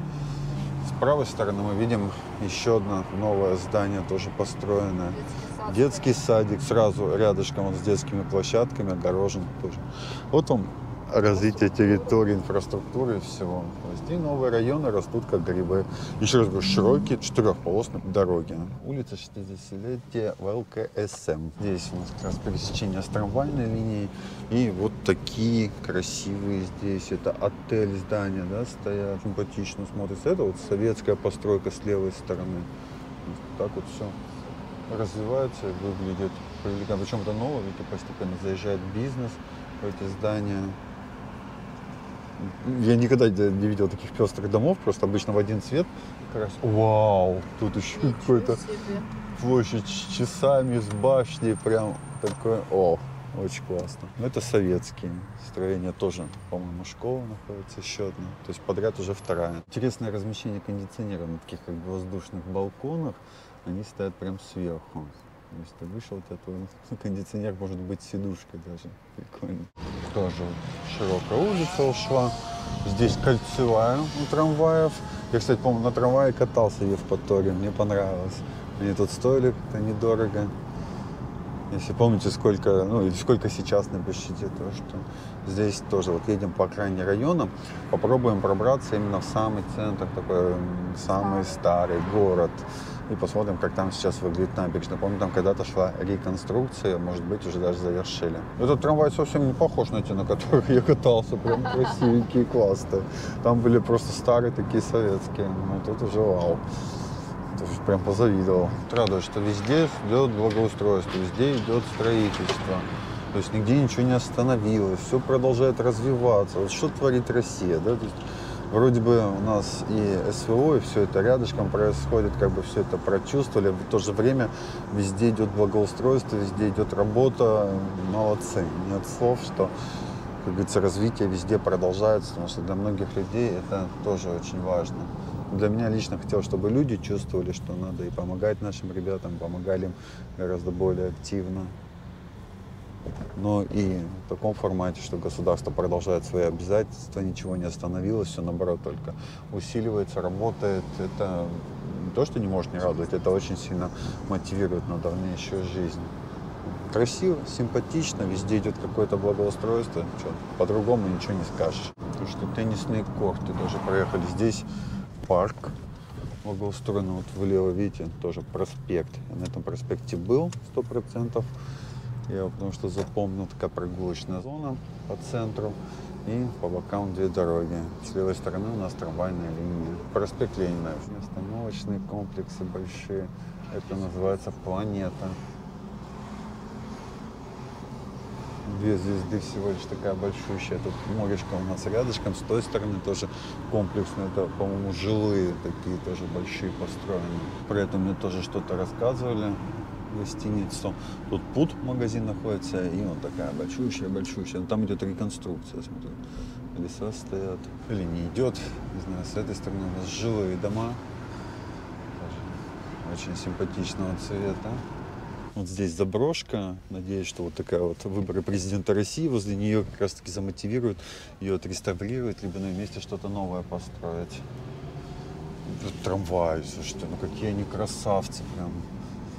О. Если будут смотреть евпаторийцы, напишите обязательно, ну, ну, как вам ездить на этих трамваях, нравится или нет. Вот уже появляются такие более старые здания по левой стороне. Я просто сам еду, такой вау-вау эффект от города, мне нравится, потому что ну, изменений вижу много. Вот это такое центральное, наверное, да, вот я хотел сказать, парк развлечений «Авангард» называется. В правую сторону у нас улица Фрунзе прогулочная. Она ведет тоже к моречку тут недалеко. Ну вот он парк развлечения с колесом обозрения. все, что, наверное, у нас. Три Хинкалыч, кстати, у них тоже есть аттракциончики некоторые работают. И двигаемся дальше. Вот по пути у нас, смотрите, какая аллея стала прям густо заросшая туями. Выглядит это очень красиво. Там лавочки, мусорки стоят. И новые здания строятся заменяя, наверное, старые, вот такие заброшки, как мы приезжали. Мы двигаемся именно в Евпаторийскую бухту, а здесь у нас везде можно пройти, в принципе, к морю, к набережной. Так что любители, как говорится, больше гулять вдоль берега, и нам скажут, что это вы на машине катаетесь, нет, бы все пешком прошли. Но мы как бы неплохо так уже намотали километров, поэтому пожалейте нас красивые здания мимо проносятся. Так, вот эту я помню, площадь кинотеатр «Ракета». Здесь у нас памятники стоят. И я вот откуда-то оттуда выходил, насколько я помню, из прогулочной зоны. Это здание театра, тоже очень красивое, атмосферное. Здесь, знаете, какие здания, просто фантастика. Вау. Вот тут прогулочная улица тоже к морю ведет. Там тоже красивые дома на ней есть. Сейчас мы где-нибудь уже остановимся и пойдем с вами погуляем. Это Евпатория надпись. Это сквер имени Ленина с правой стороны. Красивое старое здание, колокольный звон, да. ремонт мы можем увидеть здесь прям идет улиц и много-много домиков таких красивых, стареньких и привлекательных везде сквер, зелень, скоро розочки распустятся, остановки. И история этих мест, конечно, ну, вообще захватывающая. Красотища. Так, только разъедьтесь, пожалуйста, с этим трамваем. Елена, трамвай не объедет. Права тут можно отдавать кому угодно, как говорится. Ой, как Вообще красавчика. Трамвайище. Мы едем к скверу Караваева и там припаркуемся, посмотрим, как выглядит набережная. Сейчас я пытаюсь вам как можно больше показать интересных домов с колес, потому что все-таки, когда снимаешь пешком, занимает больше времени. Возможно, глаз такой замыливается, устает смотреть, а так вот Здесь можно. вкусные сыры я покупала. Вот сыр. Прям вкусный-вкусный. Крымские сыры.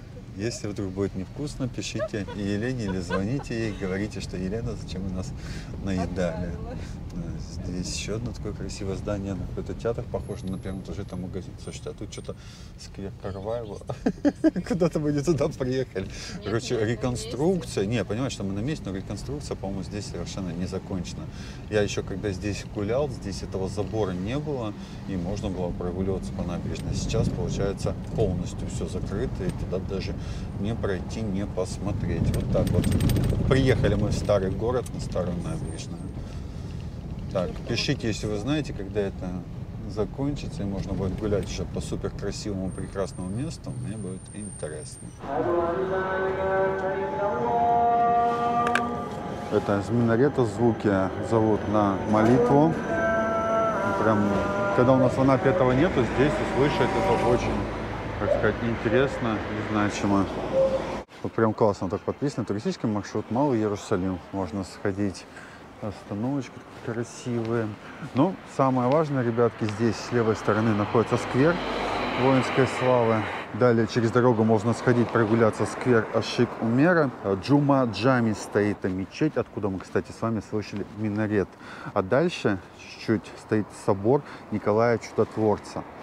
И для меня вот всегда то, что вот на набережной, да, вот здесь морешко должно было быть видно. Если бы не этот забор, который реконструкцию вроде как закрывает, то было бы очень красиво. В общем, мы сюда приехали зря.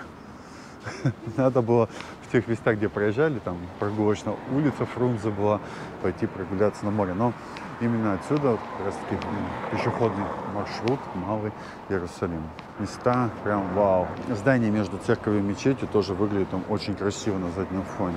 Посмотрите, как красиво тоже обкапывают и сразу сквер преображается. Здесь слышим звуки игры в домино от мужчин. И попробуем заглянуть, что там ждет в дальнейшем, как будет выглядеть реконструированная набережная. Слушайте, ну тут прям немного осталось. Какой пляж разровняли. Вы только посмотрите, как это красиво все смотрится. Вау. Ну, я думаю, не зря ждут. потому что все чинно и красиво. Но очень долго.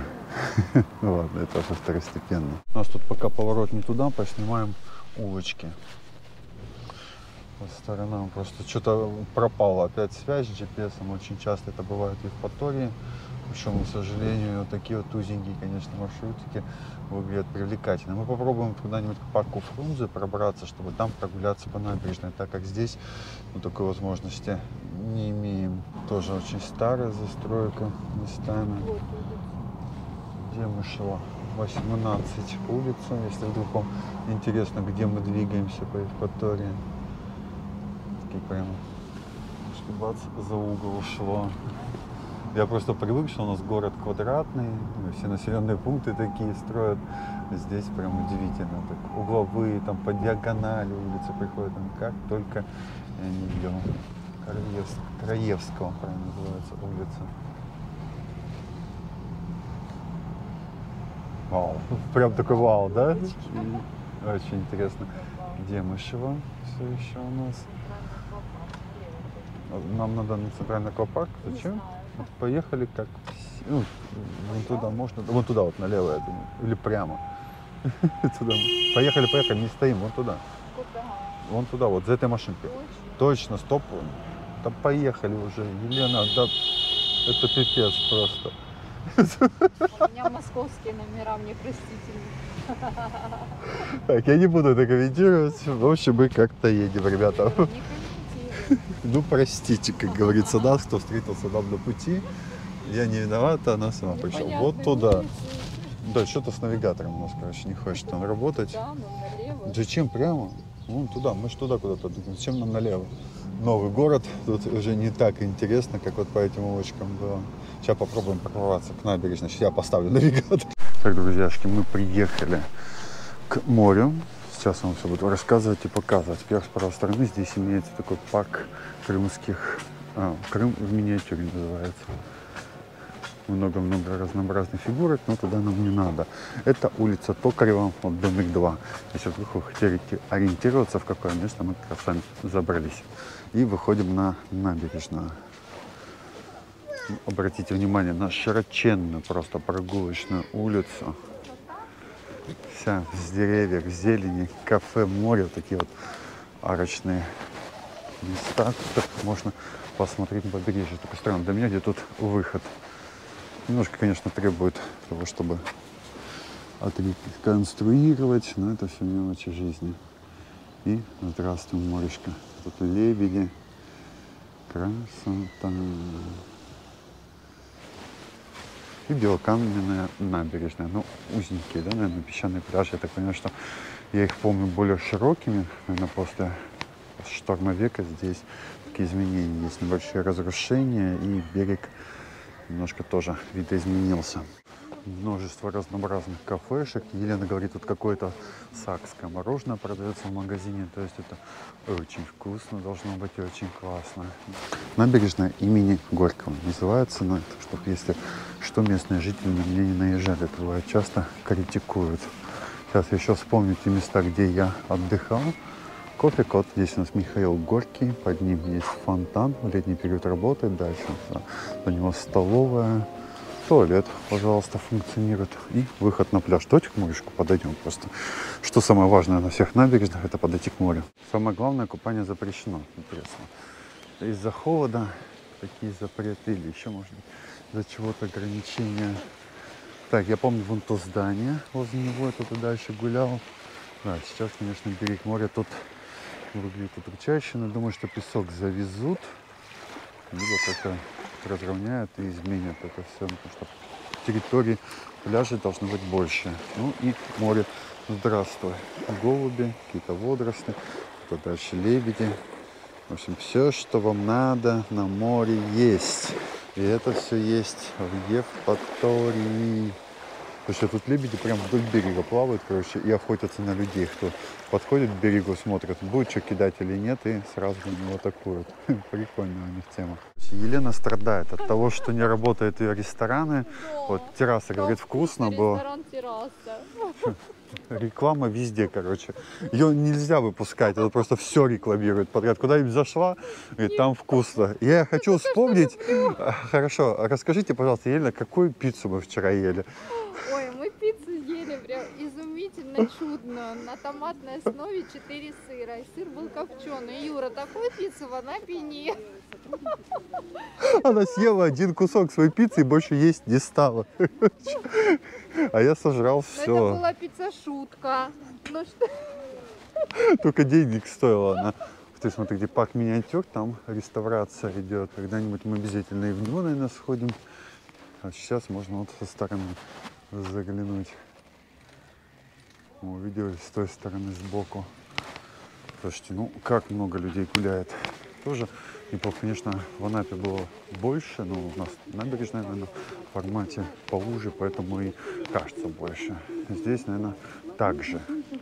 Это при том, что сегодня, вроде у нас же тоже не выходной день, да? Пятница. А, хотя сегодня предвыходной. Прям вот вкус курорта, да? Вот Да. Вот, А вот отсюда вход в этот парк миниатюр. Альпийская роза называется. Вот как в Анапе, но не в Анапе. Ну, симпатично, вот широко, да? Вот Симпатично, да, очень симпатично. У нас такую же набережную можно было сделать э, непосредственно вот от речки Анапки и в сторону... У нас, в принципе, там хорошая набережная, не буду наезжать. То есть, ну, деревьев, да, у нас нету, там У нас зелень. нет это какой-то частоты всего. Вот Много-много-много. Да, да, да. Но здесь же прям вот отступлено. Меняется здание, архитектура, какие-то что-то, какой-то скверик. А может, мы просто зажрались, и у нас тоже все красиво, а здесь просто новое, и поэтому так Да, кажется. ну конечно. Нет, просто здесь очень много лет этой улицы, набережной, то есть испокон веков здесь вдоль моря она обживалась. Мгм. Конечно, тут истории больше, поэтому и зданий больше. Лечебно-оздоровительный комплекс Победа. Вот шашлычная у Володи, пожалуйста. Шашлычок на вынос. Не хотите шашлычок на вынос? Нет, я не ем мясо. О, Господи. Я больше с ней никуда не поеду, она мясо не ест, ребята. То есть это просто жуть. Там, кстати, пирс есть, на пирс можно выйти. Тоже красивая гостиница на, на берегу моря. Астерос называется. Лаунж, пляж в ту сторону. Допустим, у нас всегда возмущаешь, когда ты идешь по набережной, не видишь море, для меня это плохо. Вот туалет подключили, чтобы была светлая такая надпись, и люди туда шли. Класс. Вот очередной выход между зданиями на море. И с них оттуда люди возвращаются. Там даже под навесами можно посетить на берегу. Столовая номер один, ну, тоже, видите, закрыта. В общем, Елена сегодня останется голодной, мне кажется. Нет, мы найдем что-нибудь вкусное. Классная статуя мальчика и гири. Красиво смотрится. Майки, по-моему, везде продают с витяжками. Тут такой прям выбор магазинчиков. ну. И причем все работают магазинчики. Пожалуйста, уличные музыканты.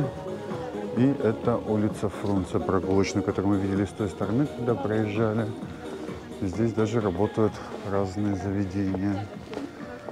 Юра, пожалуйста, работает для нас ресторан. Можно покушать? Да, я думаю, я надеюсь. Счастье. Есть куда потратить деньги, господи. Вон, кавабанга, смотрите, тоже классно. Это он вот суши ролл. Не хотите пойти еще раз попробовать? Нет, нет, нет. Всё, Это вчерашних- вчерашнее меню было. Хватило. Сегодня Из целого ролла с огурцов сколько было съедено? Ну, штучки 3-4. В общем, аккуратно заказывайте пиццу, пожалуйста, и роллы, ребятки. а то можете не поесть.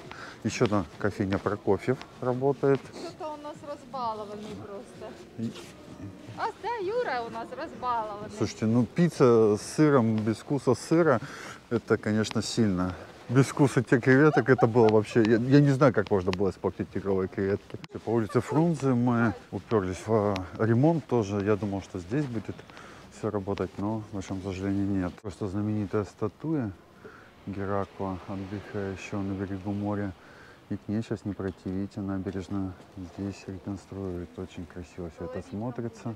Здесь тоже некоторые заведения работают. И вот смотрите, я просто когда был, я видел вот такой вот ширинный пляж, и поэтому я удивился, что там такая тоненькая полосочка, где мы вышли в том месте. Люди куда-то плывут все в закат. И закат действительно впереди сегодня будет, но тут он неудобно немножко солнце садится, мы не увидим. Я пока в кругу приятное с полезным совмещу. Вот в крымской косметике есть очень хороший натуральный шампунь, твердый как мыло. Там прям очень натуральный состав. Я пользуюсь уже два года такими шампунями и обязательно я пойду. Это не реклама. Пока, господи.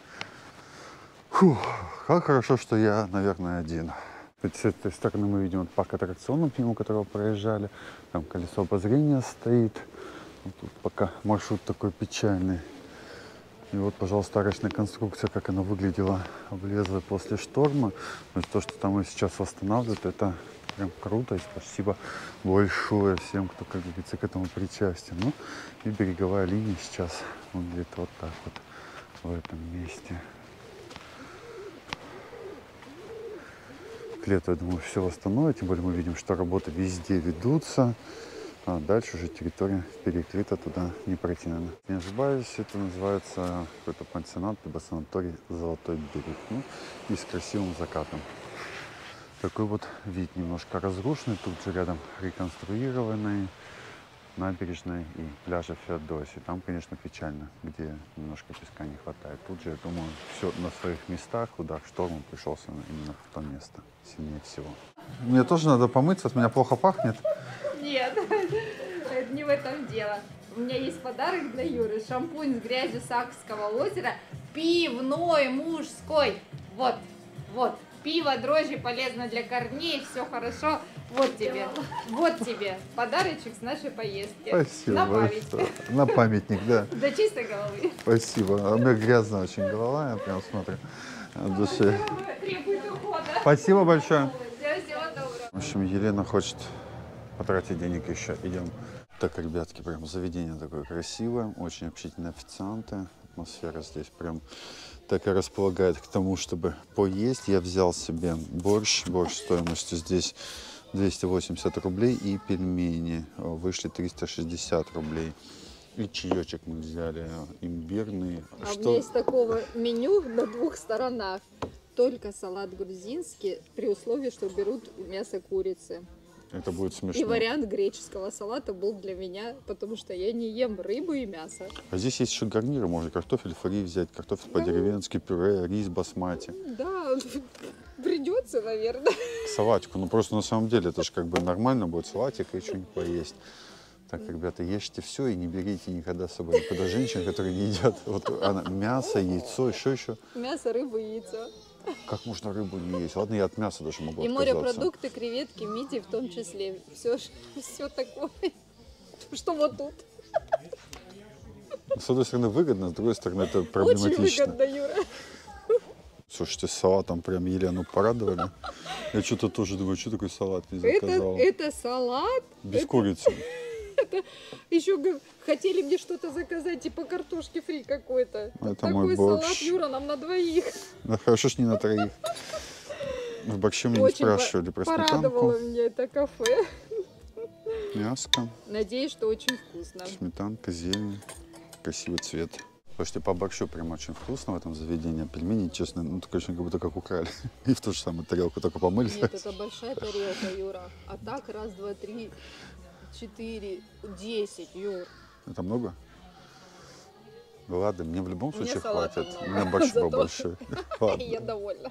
Надо защищать все заведения. Фаршируем это все. Кстати, вкусно было. И салат еле не понравился, и пельмешки были домашние классные. Вообще зашло. Еще сверху птичье молоко. Птичье молоко, сакское мороженое. Сакское мороженое очень вкусное, несмотря на то, что я фанат нашего кубанского коровка с кореновки. Но это бомба. Господи, куда меня только лезет. Я еле дошел до Это сюда. мороженое не для слабаков, Юра. Ну, Пусть слабаки очень. не могут есть мороженое после того, как съели борщ и пельмени, а Юра может.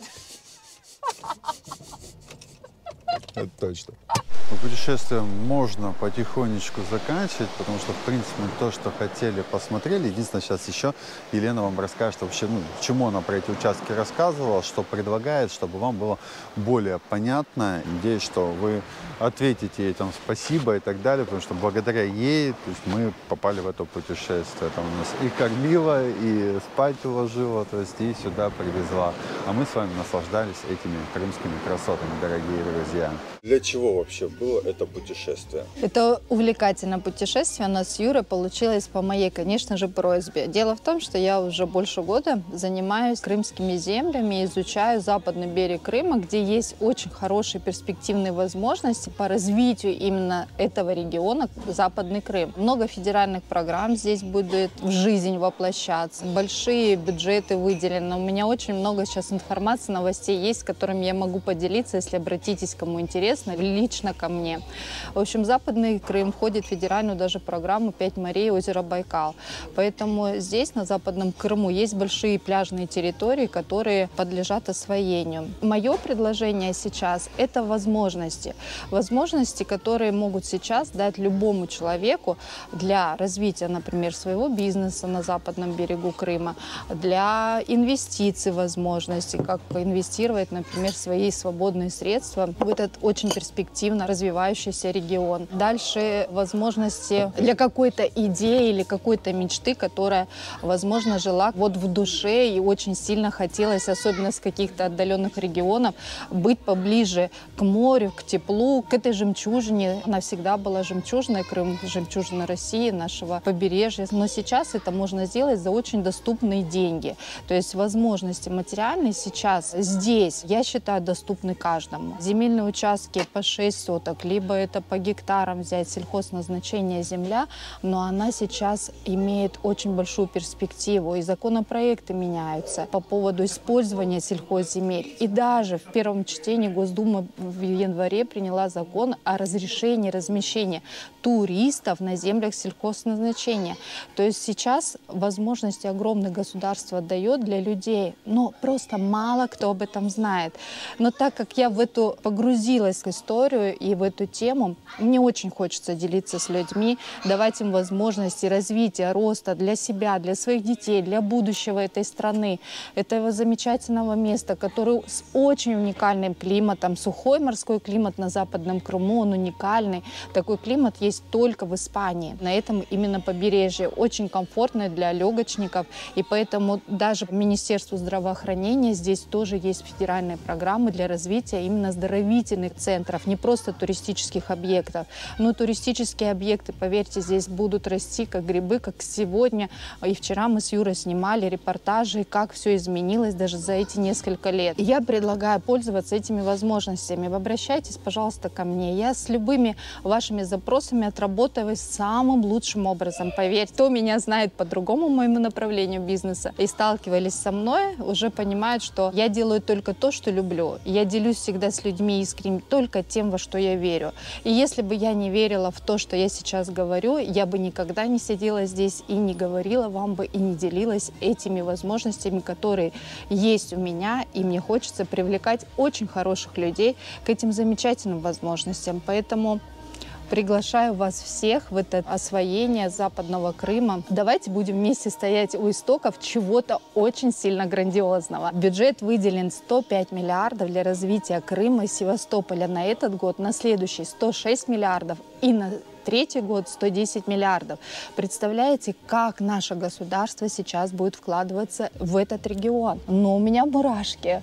У меня у самой есть очень замечательные проекты, идеи. И как только все наладится и все придет в другое состояние жизни, я уверена, появится очень много идейных людей и тех людей, которые захотят здесь создать что-то, нечто интересное. И при этом трафик наш туристического потока, он будет максимально комфортный, потому что еще строится дорога очень хорошо, удобно через Ростов-Таганрог на новой территории западный берег Крыма. То есть даже не всегда нужно будет ехать на Крымский мост. И это тоже будет привлечение дополнительных туристических потоков на это побережье. Очень много могу говорить про это. Но самая главная суть это то, что я очень рада, что я этой возможностью сейчас с вами делюсь. И я буду очень ждать себе в личку. Пишите, Юра оставит телефон. Пишите все свои вопросы, пожелания, предложения. Очень чутко отреагирую реагирую на каждый ваш запрос. Я все-таки мечтал завершить сегодняшний сюжет видом заката, потому что мы успевали сделать это все. Но, к большому сожалению, закат ушел в тучки. Вот такое вот окошко оставила нам природа. Но оно выглядит тоже великолепно. Мы на пляжах Роял, здесь музыка, музыкальный, что ли, так называется. Глэмпинг Евпатория, это вот озеро объехали. И здесь тоже пляжики, которые очень нравятся всем нашим дорогим отдыхающим. И я решил, что подойдем к морюшку, посмотрим на него и в любом случае получим удовольствие. Красота, друзья. Приезжайте, отдыхайте, наслаждайтесь. Дай Бог, как бы, чтобы у всех были такие возможности. Крым манящий. Я рад, что я побывал и показал вам всю эту красоту. Надеюсь, что мы еще приедем. Если что, еще раз говорю, поддерживайте донатище. Мы собираем денег на поездку. Сейчас купим палатку и отправимся в долгие путешествия по Черноморским побережьям. Хочется наслаждаться и чтобы снимать как можно больше интересного контента для вас. Тем более ваша поддержка и есть, она чувствует. Я от души вас всех, ребята, благодарю. Тут Девчули развлекаются. Может быть, найду себе действительно какую-нибудь попутчицу, кто захочет тоже наслаждаться этими моментами, как и я. Я на одну надеялся, но решил, что не по пути нам с ней. И будем любить и радовать море, оно нас, и все будет прекрасно у нас. Тут, посмотрите, на пляж выкинул такие вот камушки красивые. Там дальше под ними песочек, и море волнуется, ждет. А приедете ли в этом году Будете ли здесь отдыхать? Держим кулаки за вас, наши дорогие ребята. Спасибо вам и за охрану Крыма, спасибо вам и за то, что вы, рискуя своей жизнью, делаете, чтобы над нами было небо чистым и мирным от души. Ну и немножко моря, только не с этого места, а с косы Беляус. Спасибо большое, друзья. Увидимся в следующем видеосюжете. Всем пока-пока.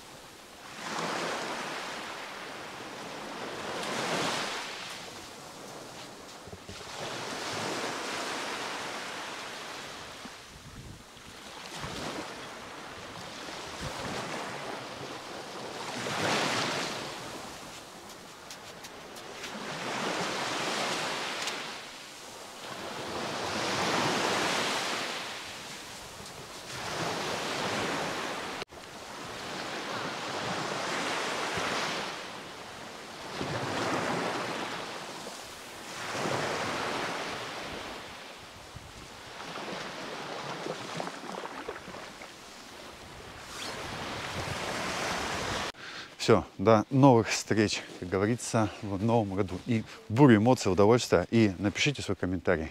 Два дня съемки, два дня монтажа для вас. Вот такой замечательный закат на наших полянках.